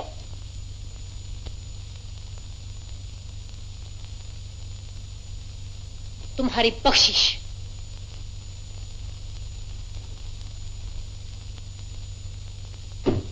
गेट आउट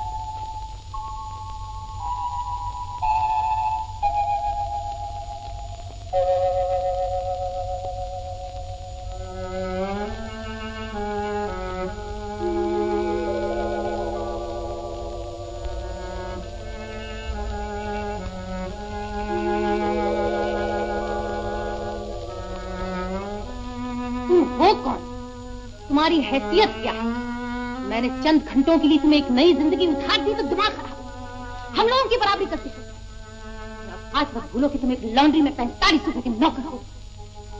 कपड़ों में लुट अपनी सूरत आईने में देखो और जाओ वापस उसी गटर में जहाँ से तुम आए हो।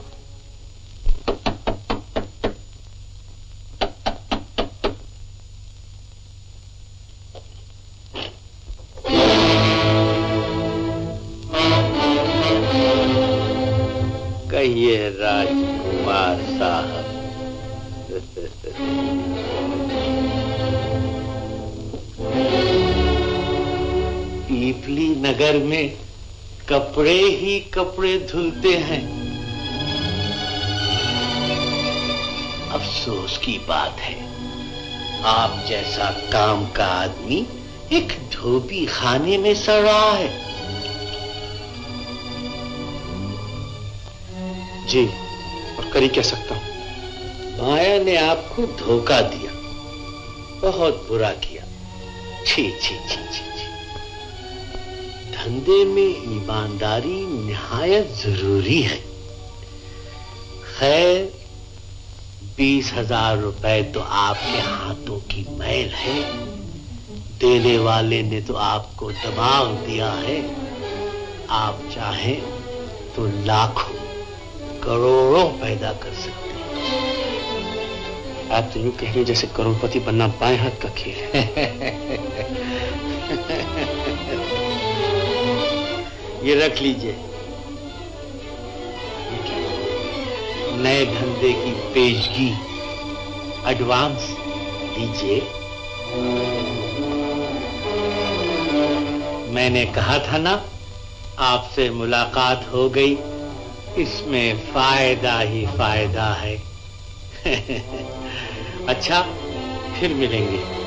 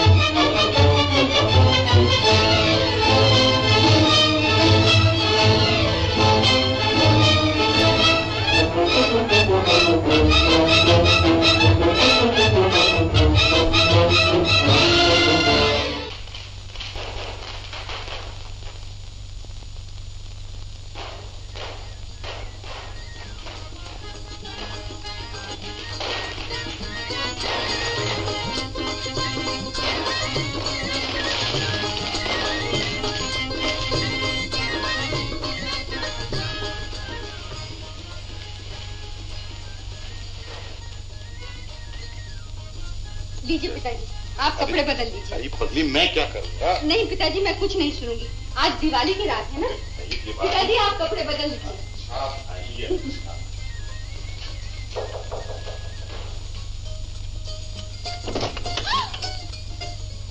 तुम? मैं तो समझी। कोई जेंटलमैन खा गई ना तुम भी कपड़ों से धोखा हाँ? मगर तुम फ़िक्र मत करो। अपना सब माल किराए पर। किराए पर? कपड़े? हाँ, हाँ, और क्या? आजकल कपड़े जेवर इज़्ज़त आबरू हर चीज़ किराए पर मिलती। मैं तो समझी तुम आओगे ही नहीं। भला तुम्हें देवी पूजा के लिए कहाँ फुर्सत? देवी पूजा के लिए तो आया। ये लो। ये क्या है? खोल कर देखो। अरे हाँ दिवाली मुबारक। तुम्हें भी। पंडित जी कहाँ अंदर है।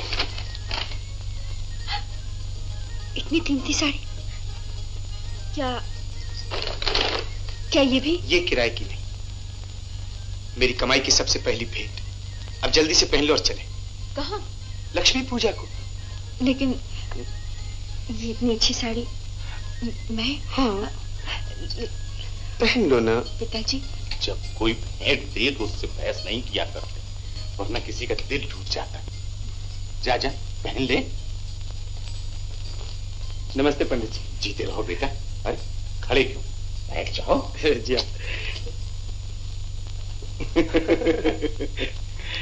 कौन से मंदिर जा रहे हो? मंदिर? जी मंदिर। वो लक्ष्मी मंदिर लक्ष्मी मंदिर। आज दिवाली है ना तो मैंने सोचा कि विद्या को शहर की रोशनी दिखा लाऊं। ज़रूर ज़रूर। जी। भाई आज बड़े अच्छे लग रहे हो।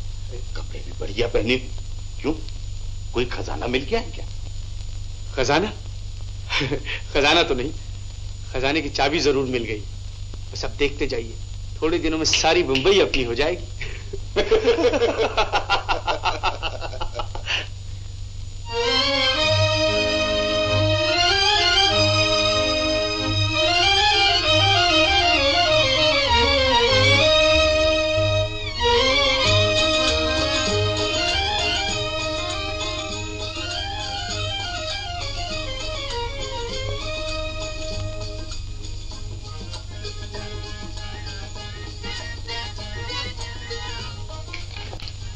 पिताजी जीती रहो बेटी।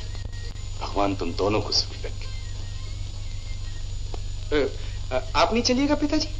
रोशनियाँ देखने नहीं बेटा तुम दोनों जाओ। रोशनी देखो। जाओ बेटा जाओ।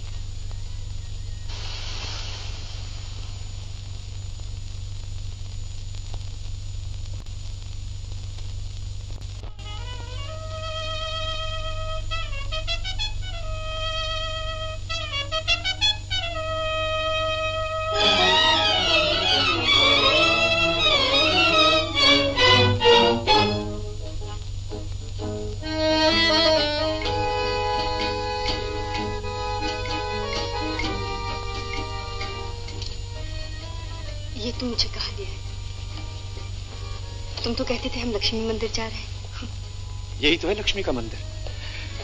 और ये सब है उसके पुजारी। देखती जाओ हेलो राजकुमार साहब। How do you do Rajkumar? Hello Pilachand ji.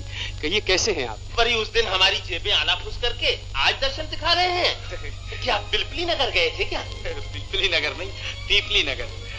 Worry suddenly ये चाँद किधर से चमका? जरा इंट्रोडक्शन दीजिए ना। आ, आप कहाँ की राजकुमारी हैं जी? ये ये ये ये है विद्या देवी विद्यानगर की राजकुमारी। हाउ डू डू राजकुमारी? मैं दरअसल विद्या देवी आजकल के जमाने में राजकुमारी कहलाना पसंद नहीं करती। ओह very good a democratic rajkumari. How do you do please rajkumari हमारे टेबल पर आइए ना। आइए ना आइए आइए आइए। हेलो राज कहाँ जा रहे हो? बैठिए आइए। ना प्लीज़ आप शायद रेस में नहीं आई थी। डार्लिंग है? पीजिएगा? राजकुमारी जी। ब्यूटीफुल। वरी कुछ छोटा वोटा पीजिएगा। राजकुमारी जी आप अपनी उम्र बताइए मुझे। कितने हसीन लगते हो इन कपड़ों में। तो वो आज पास खेलो। दस रुपए की बख्शीश के लिए? माफ़ कीजिए मुझे फुर्सत नहीं। हेलो राजकुमार हेलो आज मानते कारने वाली महफिल जमेगी. अल्लाह. वेरी सडनली आज सब पैसा इधर जाएँगे। हेलो माया। आइए आइए। इनसे मिलिए। आप हैं राजकुमारी ऑफ़ विद्यानगर। विद्यानगर। ओह। जैसे ये राजकुमार हैं वैसी ही ये राजकुमारी। Certainly, certainly, Maya Devi. Hello my darling how are you sari तो बहुत अच्छी पहन रखी है। कहाँ से ली? ओ लीलाराम से ली होगी। मेरे पास भी एक ऐसी ही साड़ी है। आज पहन कर आने वाली थी। लेकिन लॉन्ड्री से धुल कर नहीं आई। क्यों राजकुमार साहब? लॉटरी से धुल के नहीं आई।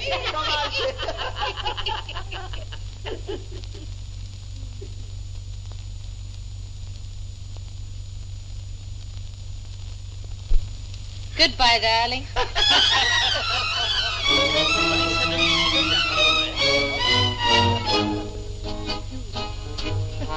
राजकुमारी माया इस बात को बुरा न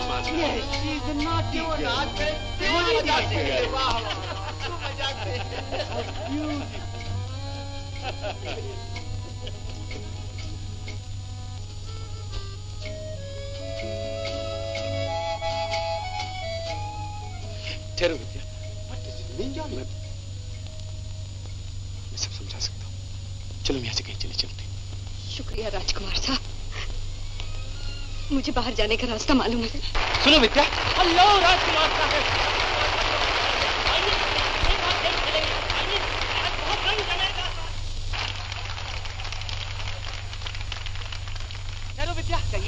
ये कौन थी? विद्या विद्या कहाँ जा रहे हैं राजकुमार साहब? सेठ साहब वो विद्या चली गई अरे जाने दो एक गई दस मिलेगी।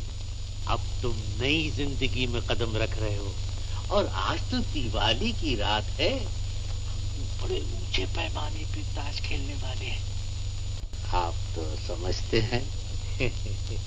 नए धंधे का एडवांस ले चुके हैं। सेठ साहब विद्या विद्या आज की रात तुम्हें विद्या की ज़रूरत नहीं। माया की ज़रूरत है। माया।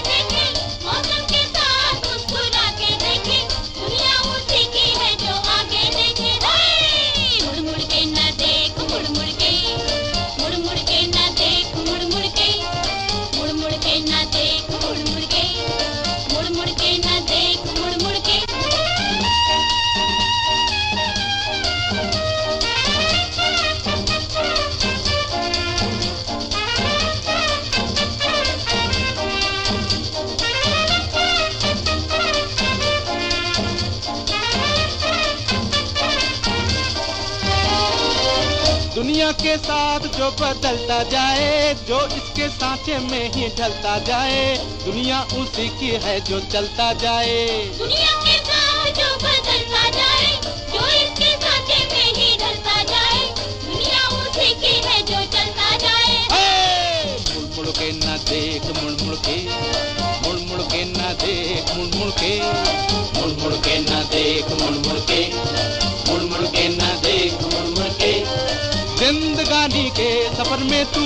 अकेला ही नहीं है हम भी तेरे हम सफ़र है।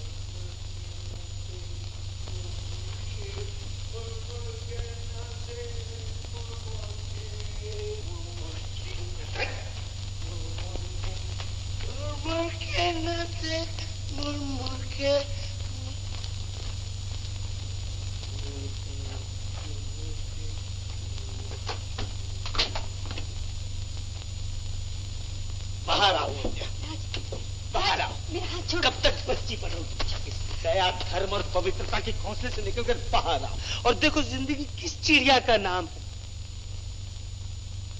सोने की चिड़िया का। जानती हूँ मैं कौन? चिड़ी का गुलाम तुम पी कर आए हो राज। नशे में धुत। जमाना ये समझा कि हम पी कर आए। खूब ज़ोर से हंसो और बात भी कितनी खुशी की। आज तुम्हारी वजह से मेरा अपमान हुआ, मेरी जगह साई हुई। ज़िंदगी में पहली बार मुझे दुनिया के सामने नज़रें नीचे करनी पड़ी। लोग क्या कहते होंगे? लोग कहते हैं तो कहने दो। जमाने ने हमारे लिए क्या किया जो हमें जमाने की परवाह हो? जब मैं भूखा था तो दुनिया ने मुझे खाना नहीं दिया। और जब मैं बेकार था तो दुनिया ने मुझे काम नहीं दिया। और जब मैं बेघर था तो इसी दुनिया ने मुझे रहने के लिए मकान नहीं दिया। मगर अब तुम देखोगे, यही दुनिया हमारी इज़्ज़त करे, हमें झुक झुक के सलाम करे। इसलिए कि ये देखो, जानती हो ये क्या है? दौलत, इज़्ज़त, नाम, शोहरत। ऐशो आराम है। इसमें तुम्हारे लिए और मेरे लिए एक नई ज़िंदगी है। मेरे लिए और तुम्हारे लिए। तुमने चोरी की है तुमने चोरी की है। हाथ की सफ़ाई, मैडम। इधर का पत्ता उधर और उधर का पत्ता इधर। तुमने पत्ते लगाए बेईमानी की है। मगर बेईमानी का फल कभी मीठा नहीं होता। राज तो ये देखो बेईमानी का कड़वा फल। गया गिरे भी तो कागज़ के टुकड़ों के लिए राज। मगर याद रखो एक दिन किस्मत की कोई आंधी आएगी और इन्हें उड़ाकर ले जाएगी। मगर तुम तुम बेईमानी की इस कीचड़ में पड़े इन्हें ढूंढते रहोगे। राज राज राज इस जाल में ना फंसो। धोखेबाजी और बेईमानी की इस कीचड़ में ना गिरो राज। ये उन लोगों से जाकर कहो जो इसी कीचड़ में से हीरे जवाहरात बनाते। झूठ बेईमानी और धोखे से लाखों रुपए कमाते हैं और इस दुनिया के मालिक बने हुए लेकिन लेकिन ये ईमानदारी का उपदेश हमेशा गरीब आदमी को दिया जाता है कि तुम दिन भर मेहनत करो, काम करो और फिर ईमानदारी की रूखी सूखी खाकर भगवान और धनवान का शुक्र करो। कितने बदल गए हो तुम? एक दिन तुम फटे पुराने कपड़े पहन कर आए और मैं समझी थी कि मेरी ज़िंदगी में कोई बिगड़ा दिल शहजादा आ गया। राज, तुमने कहा था भूल जाओ उस राज को विद्या। उस राज को भूल जाओ। जो था सो था। मुड़ मुड़ के ना देख मेरी जान मुड़ मुड़ के ना देख। अब हम एक नई दुनिया में कदम रख रहे बोलो साथ देना? बोलो बोलो साथ देना? जिस दुनिया में तुम पहुँच चुके हो राज वहाँ हर चीज़ बेची और खरीदी जाती है। मगर मैं बिकाऊ नहीं समझे? मैं बिकाऊ नहीं हूँ। बहुत अच्छा। मैं जाता हूँ। याद रखना मैडम तुम और तुम जैसे ईमानदारी का राग अलापने वाले भूखे मरेंगे भूखे मरेंगे। मैं भूखा नहीं मरूँगा। मेरे पास दौलत है पैसा नाम है इज़्ज़त।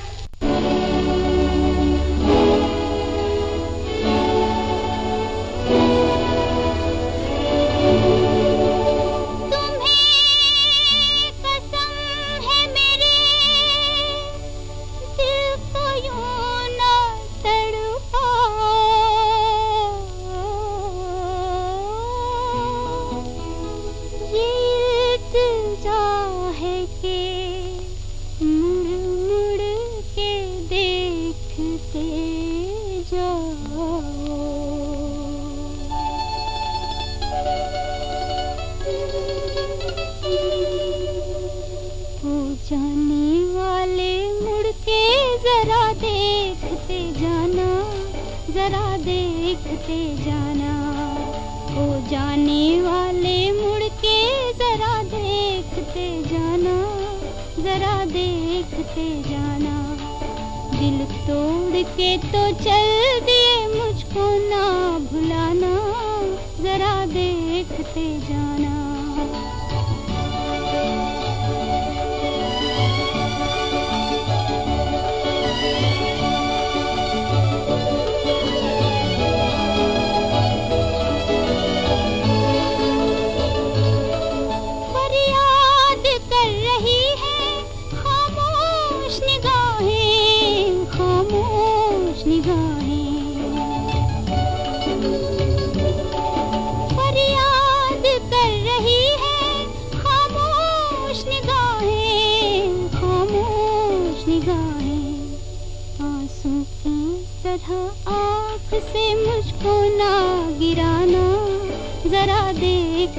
जाना हो जाने वाले मुड़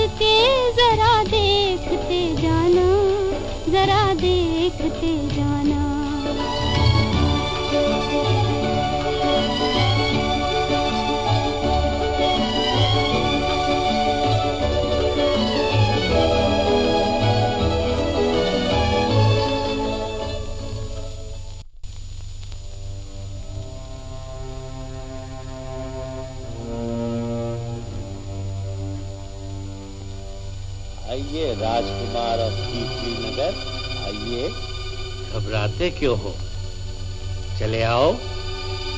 आओ।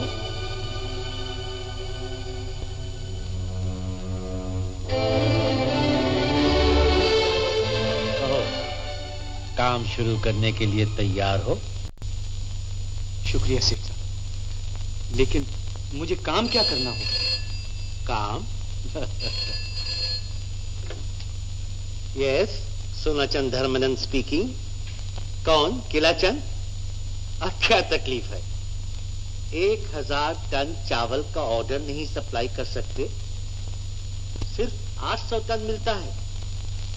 तो इसमें घबराने की क्या बात है? अगर चावल नहीं मिलता तो 200 टन कंकर पत्थर तो मिल सकता है। तो, इडियट कुछ समझे? जी। कुछ कुछ समझ में आ रहा। है हम्म। तो तुम्हारे लिए कोई काम सोचना होगा। बिल्कुल सेठ साहब। कोई ऐसा काम होना चाहिए जिसमें लोगों को दिलचस्पी हो। अब ये बताओ कि आजकल लोग क्या चाहते हैं? सेठ साहब लोग तो ये चाहते हैं कि किसी तरह रातों रात लखपति बन जाए चाहे रेस का घोड़ा लग जाए सट्टे का नंबर लग जाए। मट्टी में से सोना निकाल ले। तो तुम भी मिट्टी में से सोना निकालो। जी? जी मैंने कहा नहीं था कि तुमसे मुलाकात हो गई। इसमें फ़ायदा ही फ़ायदा है।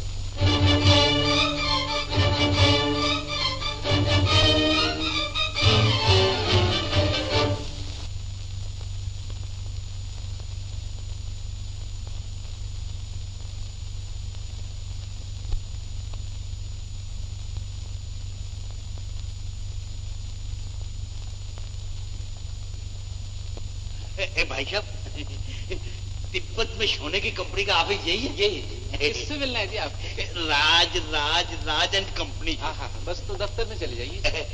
भाई साहब तीनों राज अंदर हैं? जी जी हाँ जितने सब अंदर हैं। अच्छा अच्छा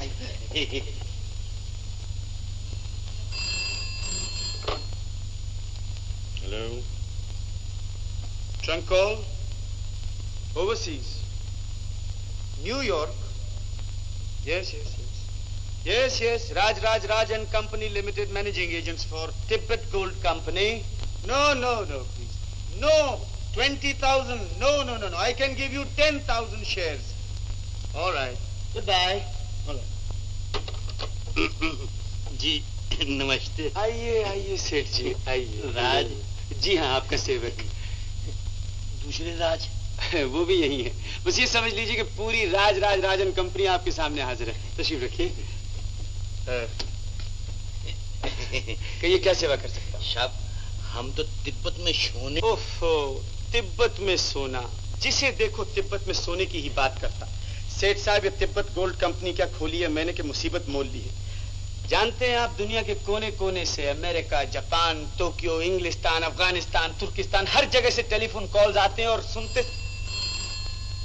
क्या कहा तुम हेलो? साहब आसामी मालदार है कहिए तो अब जापान से टेलीफोन दे दूँ। लीजिए। जापान से ट्रंक कॉल आया। हेलो? टोक्यो? ओ उनाकाशी? मिशी मिशी उनाकाशी? ओहायो गोजाइमोस ओहायो गोजाइमोस Tibet gold company, Raj Raj, Rajan company. तांगवा सांगवा तुंगवा तांगवा यांगवा त्वा त्वा त्वा हाँ? तुआंगवा जादो कोई ना। 200 शेयर मांगते हैं अब आप बताइए मैं कैसे सेठ साहब मैं तो नांगवा शंगा नांगो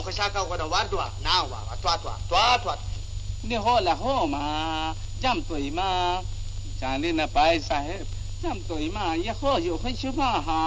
वन हंड्रेड एक सौ पे राज़ी कर रहा हूँ मांग शुआ मांग शुआ वाहियो गोजाई हाँ वाहियो गोजाई मुसा बड़ी मुश्किल से सौ पे माना है। सेठ साहब सेठ साहब एक बात पूछता हूँ आपसे। तिब्बत में सोने की कान किसने निकाली? तुमने। गलत। हम हिंदुस्तानियों ने सेठ साहब हम हिंदुस्तानियों ने और दुनिया भर के व्यापारी मेरा पीछा कर रहे हैं कि हमें शेयर दो। बोलिए तो क्या करूँ? तो हमसे भी धंधे की बात कर लीजिए राजराज जी। अपनों भी यही धंधो है।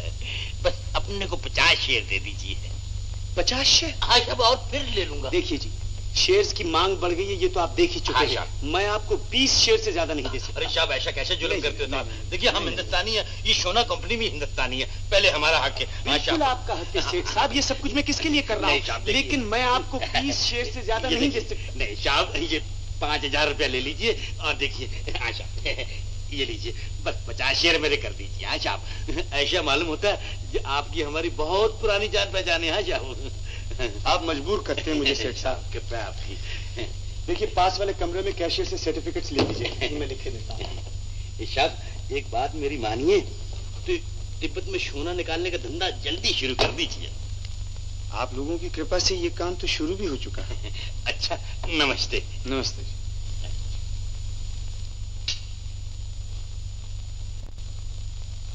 नहीं नहीं बेटी ये इलम है। ये विद्या है। इसको मत बेच तेरे को दस बीस रुपया माँगता तो मेरे को बोलने। लेकिन काका हम कब तक तो अरे क्या दिल तोड़ने वाली बात करती है बेटी? हाँ सुना है बहुत जल्दी तेरी शादी होने वाली है फिर तो तेरी किस्मत ही बदल जाएगी। नहीं काका ऐसी तो कोई बात नहीं। क्यों? पंडित जी तो कहते थे कि विद्या ने भी लड़का पसंद कर लिया है। क्या हुआ? लड़का बुरा निकला? नहीं काका मेरी किस्मत बुरी निकली। नहीं नहीं, बेटी, तू तो बड़ी किस्मत वाली है। देख, याद रखना, मैं फिर बोलता हूँ। एक दिन कोई बिगड़ा दिल शहजादा कहीं से घूमता, घामता आएगा और आओ आओ, सेठ। आपने तो बहुत दिन बाद दर्शन दिए। दर्शन तो देवियों के होते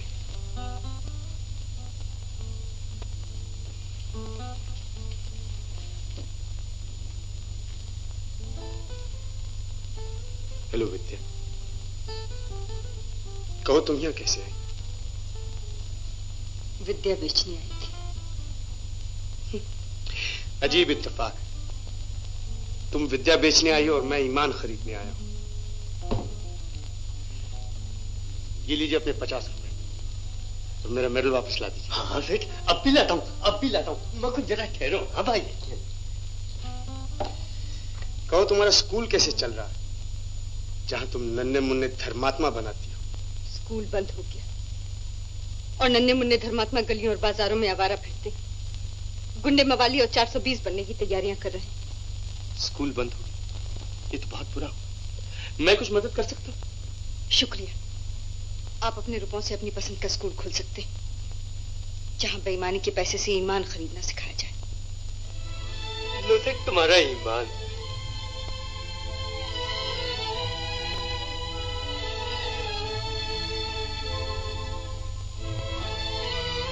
अरे जाता किधर है? अरे अपना ईमान तो लेते जाओ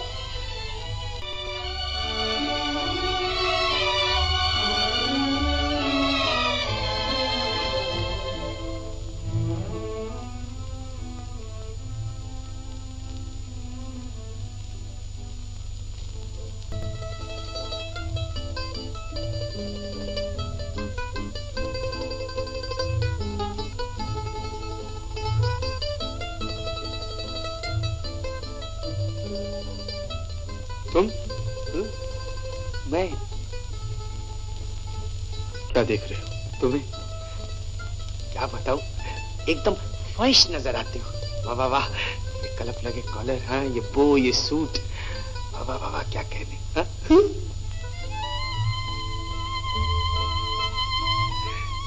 क्यों राजा? बड़े आदमी बनने के लिए जो चाहिए सब मिल गया ना? अब तो खुश हो।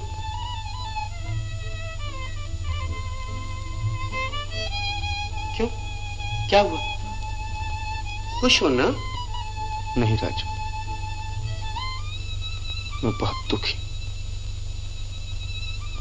न जाने क्या हो गया? तू तो जानता है कि मैं बड़ा आदमी नहीं। मैं क्या करूँ?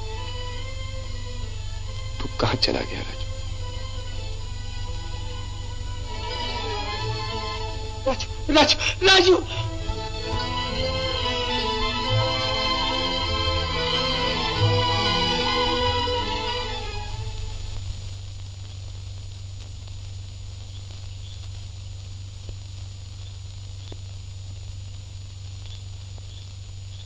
आओ आओ विद्या बेटी। आज तो बहुत देर लगा दी तुमने।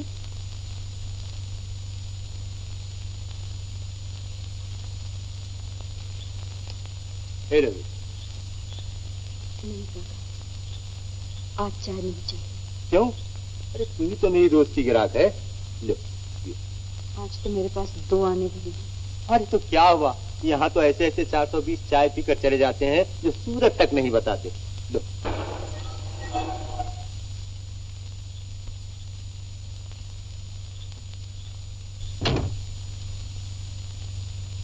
वाह बहुत दिनों के बाद आए हो राज। क्या ठाठ है।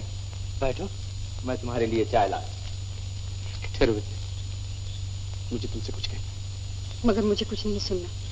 कब से तुम्हें ढूंढ रहा बैठ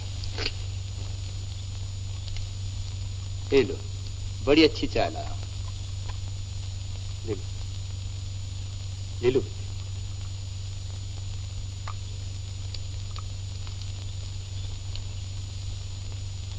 कुछ याद आया? एक दिन इसी तरह हमने यहाँ चाय पी थी। कुछ वादे किए थे। एक सपना भी देखा। याद है मैंने कहा था हमारा घर होगा, गृहस्थी होगी। हमारे बच्चे बड़े होंगे तो स्कूल और कॉलेजों में पढ़ने जाएँगे। विद्या में जो कुछ भी कर रहा हूँ, उसी सपने को सच देखने के लिए कर रहा तो कोई और काम नहीं कर सकते थे? जहाँ बेईमानी का धंधा ना चलता मुझे समझने की कोशिश करो विद्या मैं इतना बुरा आदमी नहीं हूँ जितना तुम मुझे समझती हो। अगर मैंने धोखा दिया तो उन लोगों को जो खुद धोखेबाज हैं, झूठे हैं, क्या तुम्हें हमदर्दी ऐसे लोगों से? मुझे हमदर्दी है तो सिर्फ़ तुमसे। इसलिए कि जिस रास्ते पर तुम जा रहे हो, जानते हो तुम्हें कहाँ ले जाएगा? तुम मुझे अपनी घरवाली बनाना चाहते हो। कल तुम किसी जेल खाने की कोठरी आबाद करोगे तो फिर मैं किसकी घरवाली कहलाऊँगी? बड़ी हसरत है ना तुम्हें कि तुम्हारे बच्चे स्कूल और कॉलेजों में पढ़े। मगर जानते हो उनके साथी उन्हें क्या कहेंगे? कि उनका बाप एक दो के बाद और चार सौ बीस है।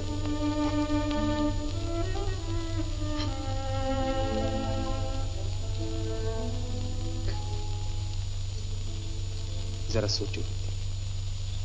हम जैसे लोग पैसे के बगैर कर ही कह सकते हैं? इस दुनिया में तो सांस लेने के लिए भी पैसा चाहिए। पैसा पैसा पैसा। और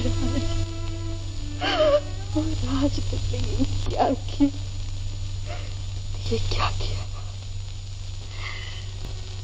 तुमने ये क्यों किया तुमने अपने आप को ही नहीं मुझे, मेरा घर, मेरी गृहस्थी, सब कुछ बर्बाद कर दिया। मैंने तुम्हारा क्या बिगाड़ा? बोलो, तुमने क्यों किया? किस लिए किया? सूटों के लिए? गाड़ियों के लिए? इस झूठी शान और इज़्ज़त के लिए?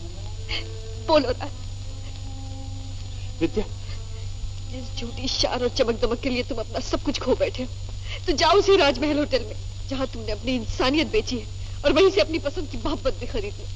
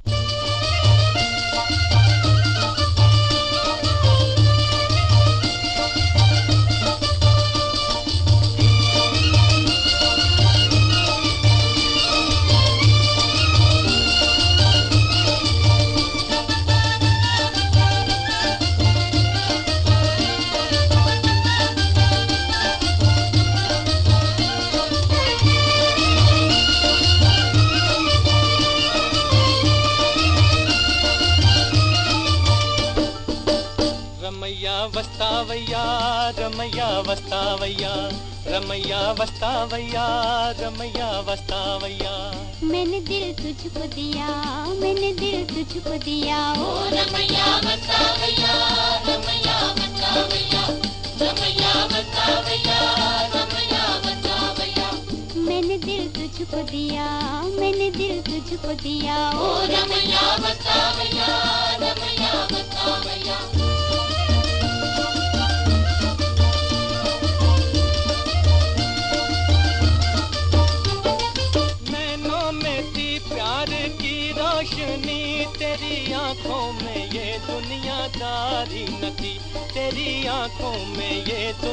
दुनियादारी न थी।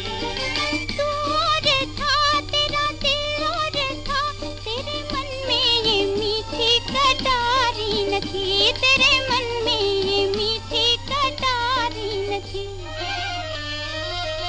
मैं जो दुख पाऊँ तो क्या आज पछताऊं तो क्या? जो दुख पाऊँ तो क्या? आज पछताऊं तो क्या? मैंने दिल तुझको दिया, मैंने दिल तुझको दिया। ओ रमैया बतावैया रमैया बतावैया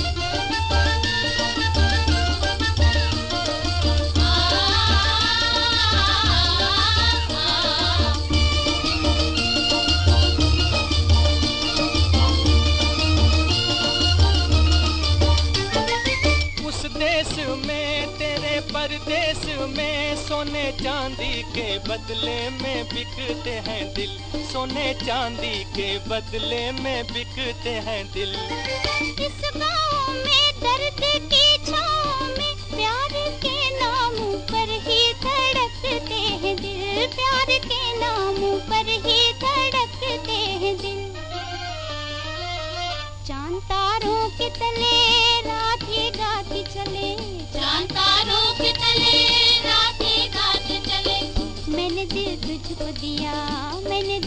तुझको दिया ओ रमैया बतावैया बतावैया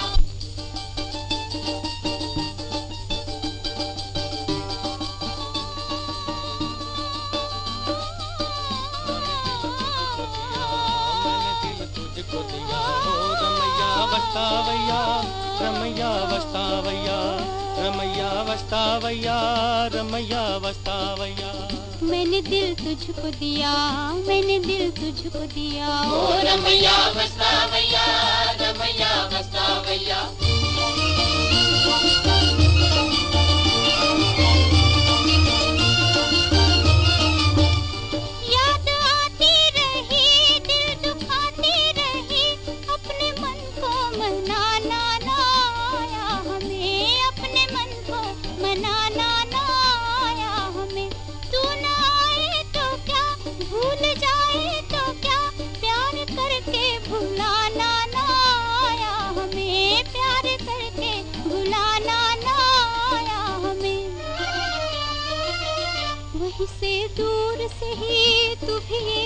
दे कभी वहीं से दूर से ही तू भी ये कह दे कभी मैंने दिल तुझको दिया मैंने दिल तुझको दिया। ओ रमैया वस्तावैया रमैया वस्तावैया रमैया वस्तावैया रमैया वस्तावैया मैंने दिल तुझको दिया मैंने दिल तुझको दिया। ओ रमैया वस्तावैया रमैया वस्तावैया रास्ता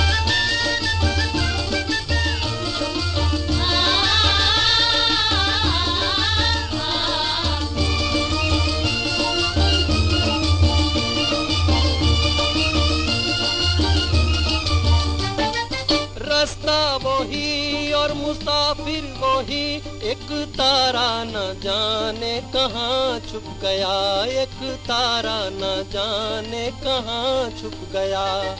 दुनिया वही, दुनिया वाले वही, कोई क्या जाने किसका जहाँ लुट गया, कोई क्या जाने किसका जहाँ लुट गया। मेरी आँखों में रहे, कौन जो मुझसे कहे? मेरी आँखों में रहे, कौन जो मुझसे कहे? मैंने दिल तुझको दिया, मैंने दिल तुझको दिया। ओ रमैया वस्तावैया रमैया वस्तावैया रमैया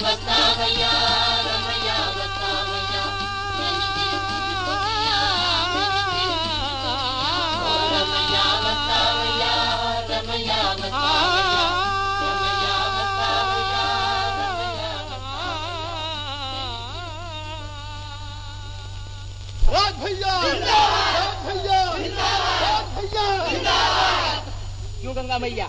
मेरा कहता था कि हमारा राज ज़रूर आएगा और जब आएगा तभी हमारे घर बनेंगे। अरे हमारा बेटा है।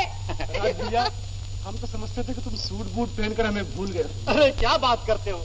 एक बार जो फुटपाथ पे सो गया कभी हम फुटपाथ वालों को भूल सकता है। अच्छा राजू भैया ये तो बताओ कि हम लोगों के घर कब बनेंगे? घर? हाँ हाँ तुम्हारे इश्तेहार ने तो सारे शहर में खलबली मचा दी है राज भैया। इश्तहार मेरा इश्तहार अरे हाँ हाँ राज भैया ये देखो ना। अरे ये तो अपने जान से भी है। राज भैया ये देखो ये देखो। अपना घर सौ रुपए में अपना घर। अब कोई फुटपाथ पर नहीं रहेगा। बेघरों के लिए खुशखबरी। जनता के लिए जनता घर सिर्फ़ सौ रुपए आपका सेवक राजकुमार सक्सेना जनता घर के सोना चंद मिल मेंशन राज भैया राज भैया राज भैया राज भैया क्या मैं पूछ सकता हूँ शेख सोनाचंद धर्मानंद? ये इश्तहार मेरे नाम से किसने दिया? और इसका क्या मतलब है? राजमहल से क्यों चले आए? माया तुम्हारी बड़ी शिकायत कर रही थी। माया को ठुकराना अच्छा नहीं। सौ सौ रुपए का घर। ये इश्तहार तो आपने मेरे नाम से दे दिया लेकिन इस बात का यकीन कौन करेगा? हाँ, सौ रुपए में मकान कैसे बन सकता है? तुम्हें किस उल्लू ने ये कह दिया कि मैं मकान बना के दूँगा? मैं घर नहीं बेच रहा हूँ राज। एक सपना नीलाम कर रहा हूँ। जानते हो इसी बंबई शहर में कई लाख आदमी फुटपाथ पर सोते हैं। इन कई लाख इंसानों की एक आरज़ू है कि इनका अपना एक घर हो। समझे? इसलिए गरीब से गरीब भी किसी ना किसी तरह सौ रुपए जमा करके हमें दे जाएगा, ताकि हम इनका एक घर बना दे। सेठ सोनाचंद धर्मानंद, इस 420 के धंधे में मैंने क्या कुछ नहीं किया तुम्हारे लिए? पत्ते लगाए, बोगस गोल्ड कंपनी के शेयर बेचे सट्टे के नंबर उलट पलट किए। मगर मुझे ये नहीं मालूम था कि एक दिन तुम मुझसे ये कहोगे कि गरीब आदमियों को धोखा देकर तुम्हारी खताने भर अच्छा अच्छा अच्छा कैसी बातें करते हो राज? इस नई दुनिया में अमीरों और गरीबों का भेदभाव रखना ही नहीं चाहिए। हम जैसा सलूक अमीरों के साथ करते हैं वैसा ही गरीबों के साथ करना चाहिए। हुँ? तो तुम्हारा ख्याल है कि इस जलील काम में मैं तुम्हारा साथ दूँगा? हाँ इसके सिवा तुम कर ही क्या सकते हो? मामला बड़ा बेढब है। पत्ते लगाए किसने? तुमने। ये राज राज राज कंपनी चलाई किसने? तुमने। तो ले लीजिए अपनी गोल्ड कंपनी। और बैंक में जितना रुपया वो भी ले लीजिए। सब कुछ ले लीजिए। मुझे कुछ नहीं चाहिए। कुछ नहीं चाहिए। मैं सिर्फ़ मन की शांति चाहता हूँ। मैं आपके साथ काम नहीं करना चाहता। सुना? मैं आपके साथ काम नहीं करना चाहता। तुम समझते हो कि मैं कच्ची गोलियाँ खेला हूँ। राज, मैं चाहूँ तो तुम्हें यूँ खत्म कर सकता हूँ। इस बोगस तिब्बत गोल्ड कंपनी की हर शेयर पर तुम्हारे दस्तखत है, मेरे नहीं। और जानते हो, तुम्हारी बोगस कंपनी के पचास शेयर मैंने खरीद रखे हैं। सबसे पहले धोखे का मुकदमा तुम पर मैं चलाऊँगा। दफ़ा चार सौ बीस। नो राज, नो अब तुम इस चक्कर से नहीं निकल सकते। विद्या ठीक कहती थी। जिस रास्ते पे मैं चल रहा हूँ, उस रास्ते पे तुम्हें विद्या की नहीं, माया की ज़रूरत है। माया की।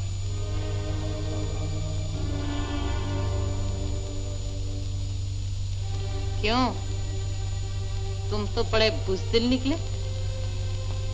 मैदान छोड़कर भागना चाहते मगर कहा उस दो टके की मास्टरनी के पास?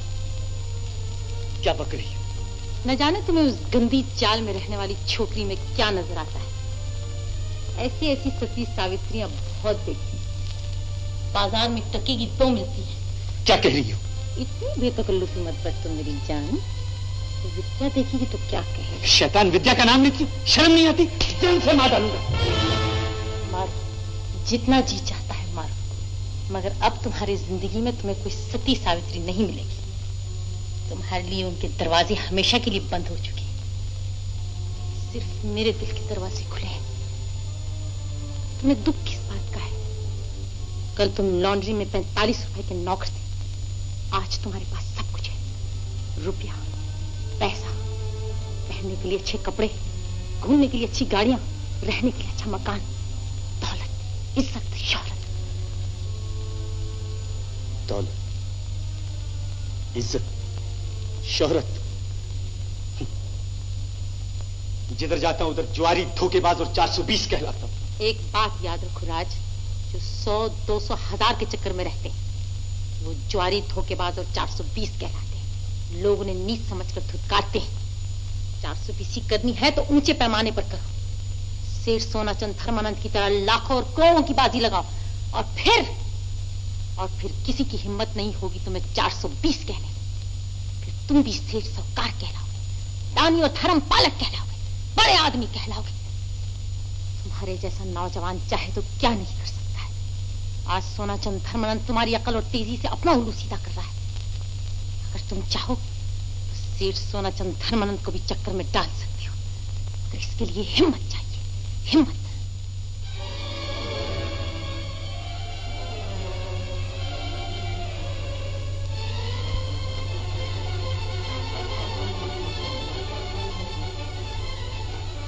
तुम सच कहती हो मैं। ऐसा ही होगा। ऐसा ही होगा।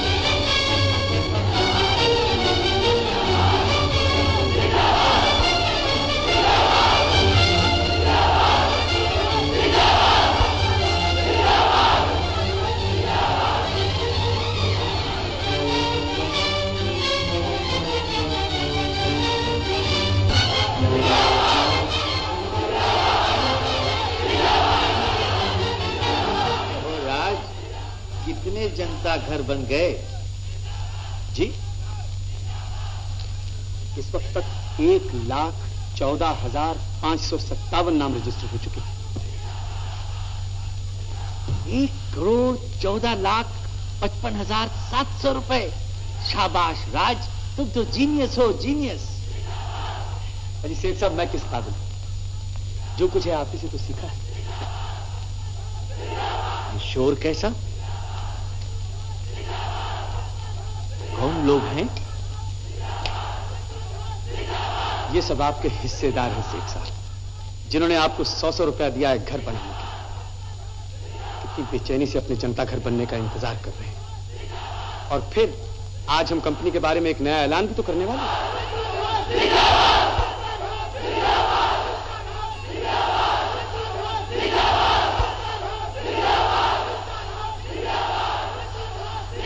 लोगों में इतना जोश देखकर कभी कभी मुझे डर लगने लगता है। डर? ये तो सारा रुपया वापस कर दूँ? जी माफ़ कीजिएगा। कुछ लोग आपसे मिलने आए हैं नाम रजिस्टर कराने। उनसे कहिए ऑफ़िस बंद हो चुका है। कल सुबह आए। ठहरो रुपया लाए हैं? जी। तो आने दो। सोनाचंद ने रुपया वापस करना नहीं सीखा। फिर आप जाइए अपने कमरे में। मैं उनसे मिलकर आता हूँ। तो जल्दी आना। आज रुपए का बंटवारा करना है। जी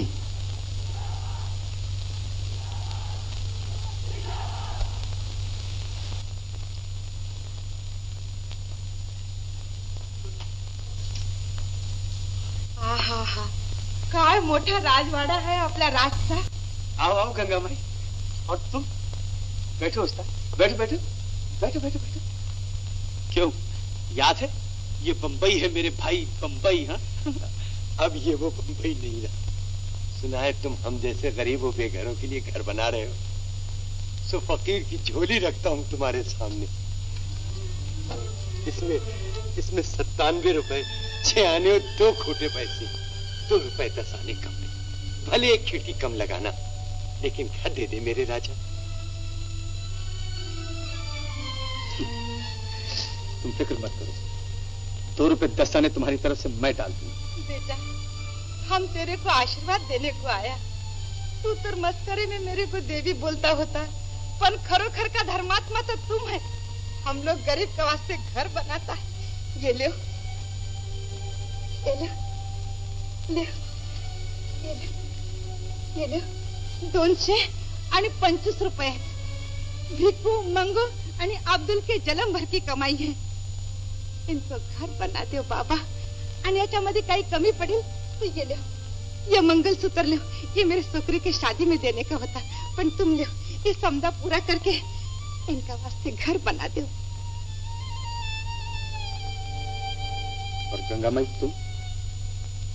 तुम्हें अपने लिए घर नहीं चाहिए। हमेशा दूसरों की फ़िक्र लगी रहती माला मातारी को घर काय को बाबा? ये छोकरा लोग के दार में पड़ा रहेगा।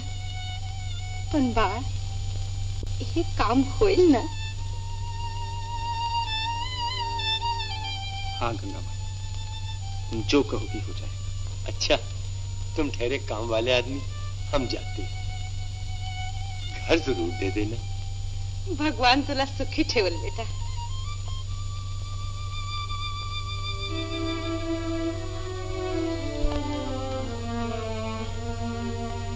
तैयार हो जाओ राज। मैंने सारा इंतज़ाम कर लिया है। हम यहाँ से जा रहे हैं। मैं यहाँ से जा रहा हूँ। बहुत दूर जा रहा हूँ। तो फिर सेठ से पैसे निकालो। मैं बैग लाई हूँ। हाँ। ठीक है। वो लोग कितनी बेचैनी से बंटवारे का इंतज़ार कर रहे हैं। सेठ सोनाचंद धर्मानंद और उनके साथी। उन्होंने तुम्हारे लिए पूरा इंतज़ाम कर दिया है। तुम्हें सिर्फ़ बीस हज़ार रुपए मिलेंगे और एक हवाई जहाज़ का टिकट। और उसके बाद ये कहा जाएगा कि राज पब्लिक का रुपया लेके भाग गया है।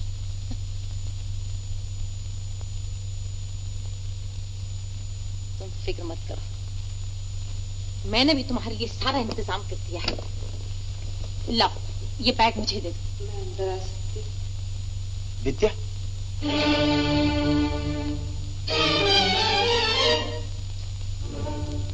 मैं मैं आपसे। विद्या तुम? सुना है तुम घर बना रहे हो। तो क्या तुम्हें भी घर चाहिए? मैं क्या करूँगी घर लेकर? घर तो घर वाले से बनता है गृहस्थी से बनता है। तो फिर यहाँ क्या लेने आई हो देवी जी? देखती नहीं हम बिज़ी हैं।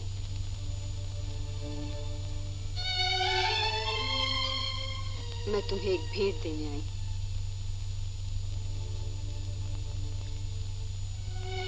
ये लो। तुम्हारा ईमान जिसे तुम गिरवी रखाए थे शायद तुम्हारे काम आए। ईमान?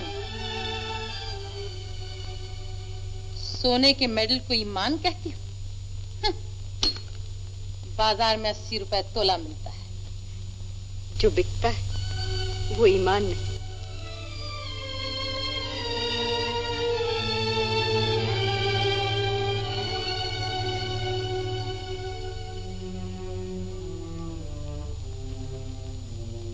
क्या देख रहे हो राज? लाओ ये बैग मुझे दो चलो चले यहाँ से। ये रुपया तुम्हारा नहीं। ये तो मैं भी जानती हूँ ये रुपया तुम्हारा है। ये रुपया मेरा भी नहीं है। फिर के सारा रुपया सुना चल। कैसी बातें करते हो राज? नहीं नहीं देखो देखो ये रहे हमारे पासपोर्ट ये है हवाई जहाज़ की टिकट। टैक्सी बाहर खड़ी और घंटे भर में हवाई जहाज़ उड़ने वाला है। और फिर और फिर हम हिंदुस्तान की सरहद से बहुत दूर होंगे जहाँ पे ना पुलिस तुम्हारा पता लगा सकेगी और ना धर्मानंद। पुलिस से भी निकल कर भाग सकता सोनाचंद की नज़रों से भी छुप सकता हूँ। मगर अपने आप से छुटकारा कैसे पाऊँगा? हट जाओ। राज। राज। रुपया लेकर भागने की कोशिश हो रही है।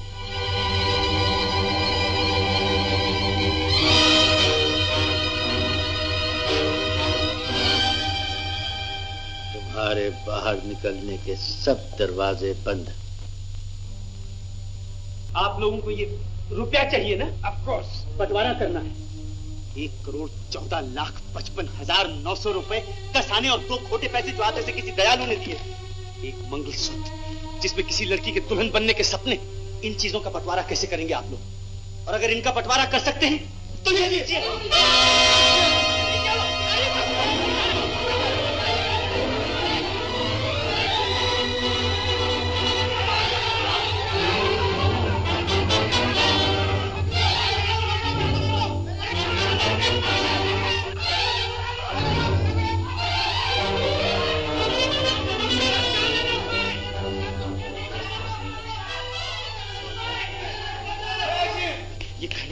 ये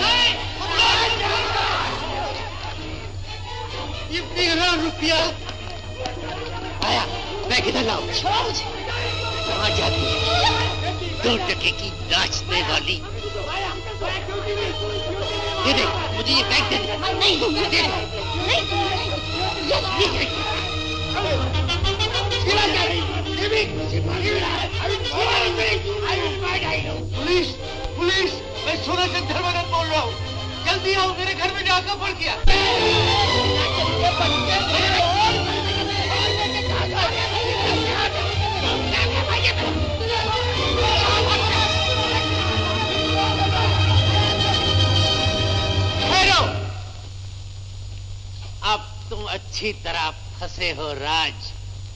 फंसे तो आप हैं सेठ साहब। बकवास बंद करो और रुपया मेरे हवाले करो। किसी बात के लिए आप लोग झगड़ रहे थे क्या? रुपया चाहिए ना? तो ये लीजिए।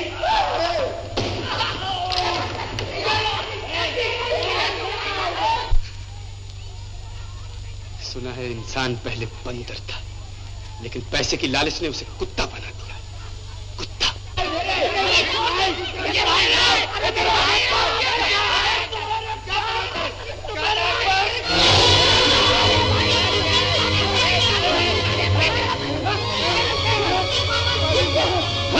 ये तो कागज़ है रुपया कहाँ है? रुपया कहाँ है? तो क्या भाई बात भगोजे रुपया किधर है? ये सब रद्दी कागज़ है। जिन नोटों के लिए आप एक दूसरे से भूखे भेड़ियों की तरह लड़ रहे थे, वो भी तो रद्दी कागज़ है। कागज़ और बिल्कुल रद्दी मगर इन रद्दी कागजों के लिए आप क्या कुछ नहीं करते? बोगस कंपनियाँ आप चलाते हैं, काला बाज़ार आप करते हैं इंश्योरेंस का रुपया लेने के लिए अपने कारखानों में आग आप लगाते हैं। राज! अब मैं बाहर जा रहा हूँ, सेठ साहब। और मेरे साथ आपके धोखे और चार सौ बीसियों के सारे सबूत भी बाहर जा रहे हैं।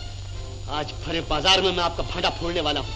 आज सारी दुनिया को मालूम होगा कि समाज सेवक, धर्म पालक, दानी और दयालु सेठ सोनाचंद धर्मानंद का असली रूप क्या है। ये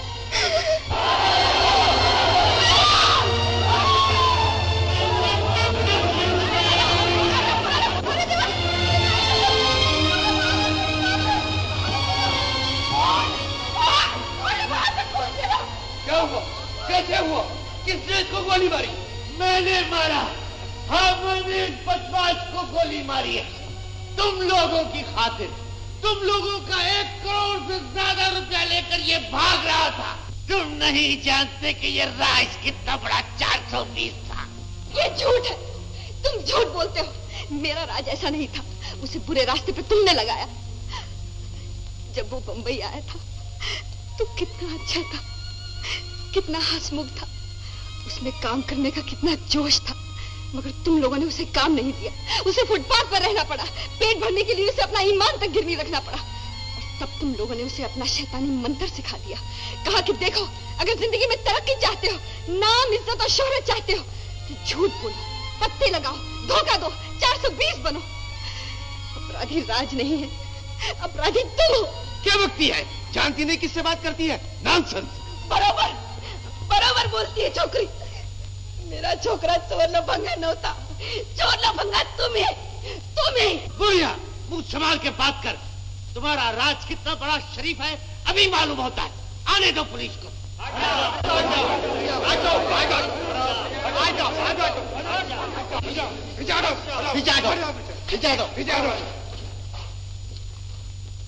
ये गोली किसने चलाई? मैंने। आप मुझे पहचानते होंगे। जी हाँ सेठ सोनाचंद धर्मानंद। तो आप ये भी जानते होंगे कि मेरा प्रथम मानव धर्म है जनता की सेवा। यह आदमी जनता का एक करोड़ से भी ज़्यादा रुपया लेकर भाग रहा था। इसलिए जनता की खातिर मुझे इस पर गोली चलाना पड़ी। अगर इसको आप जुर्म समझते हैं तो आप मुझे फांसी दे सकते हैं। प्यारी जनता की खातिर मैं अपनी जान भी दे सकता हूँ। इतना बड़ा झूठ मत बोलिए शेख साहब, जिसे सुनकर मुर्दे भी ज़िंदा हो। जाए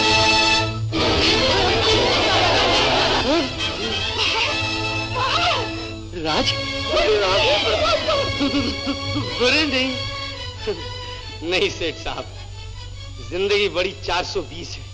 इतनी आसानी से पीछा नहीं छोड़ती। और फिर शायद आप ये भूल गए कि बैग में रिवॉल्वर मैंने डाला था। रिवॉल्वर में गोलियाँ भी मैंने ही डाली थी। ये सब क्या तमाशा है? तुमने मरने का ढोंग रचाया था क्या? इंस्पेक्टर साहब इस औंधी दुनिया में ज़िंदा रहने के लिए कभी कभी मरना भी पड़ता है। और फिर सेठ साहब ने मेरे लिए पूरा इंतज़ाम कर दिया था एक दो नहीं पूरी छह गोलियाँ चलाई भागते हुए चोर को रोकने के लिए सिर्फ़ एक ही गोली काफ़ी होती है फिर एक निहत्ते आदमी पर छह गोलियाँ किस लिए जनता की खातिर सेठ साहब या उनके डेढ़ करोड़ रुपए की खातिर रुपया ये रुपए का क्या मामला है यही तो मैं कहता हूँ कि जनता का रुपया वही है जहाँ जनता ने दिया था जी हाँ लीजिए इंस्पेक्टर साहब ये लीजिए ये रही चाबी। और ऊपर के ऑफ़िस में एक सेफ़ है उनका सारा रुपया ले आइए।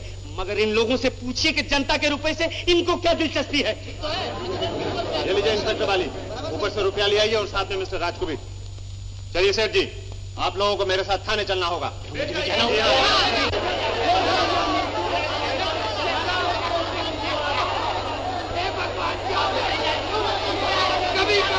इन भले लोगों की शक्लें अच्छी तरह से देख लीजिए। ये बड़े शरीफ लोग हैं, इज़्ज़त वाले हैं, धन वाले हैं, और इनकी गिनती एक, दो, दस, पचास नहीं, ये पूरे चार सौ बीस है। चार सौ बीस नहीं, श्री चार सौ बीस है। और अब आप अपने आप को भी देख लीजिए। कौन कहता है कि आप गरीब हैं, बेकार और बेघर हैं? आज आप में से हर एक के पास एक करोड़ सत्तर लाख रुपया है। ये वही रुपया है जो मैंने आपको जनता घर का सब बाग दिखाकर जमा किया। मैं आपको धोखा देना नहीं चाहता था। आप लोगों को इकट्ठा करना चाहता था। अगर आप चाहें तो अपना सौ सौ रुपया वापस ले सकते हैं। मगर मेरी मानिए तो अपनी दौलत को यूँ लुटाइए नहीं, अपनी ताकत को घटाइए नहीं। सौ सौ रुपए में कभी किसी का घर नहीं बन सकता, मगर डेढ़ करोड़ रुपए में लाखों घर बन सकते हैं। अगर आप अपनी गवर्नमेंट से जाकर ये कहें कि ये रहा डेढ़ करोड़ रुपया और हम लाखों आदमी की हिम्मत और मजदूरी है, हमें ज़मीन दो, हम अपने घर खुद बनाएँगे।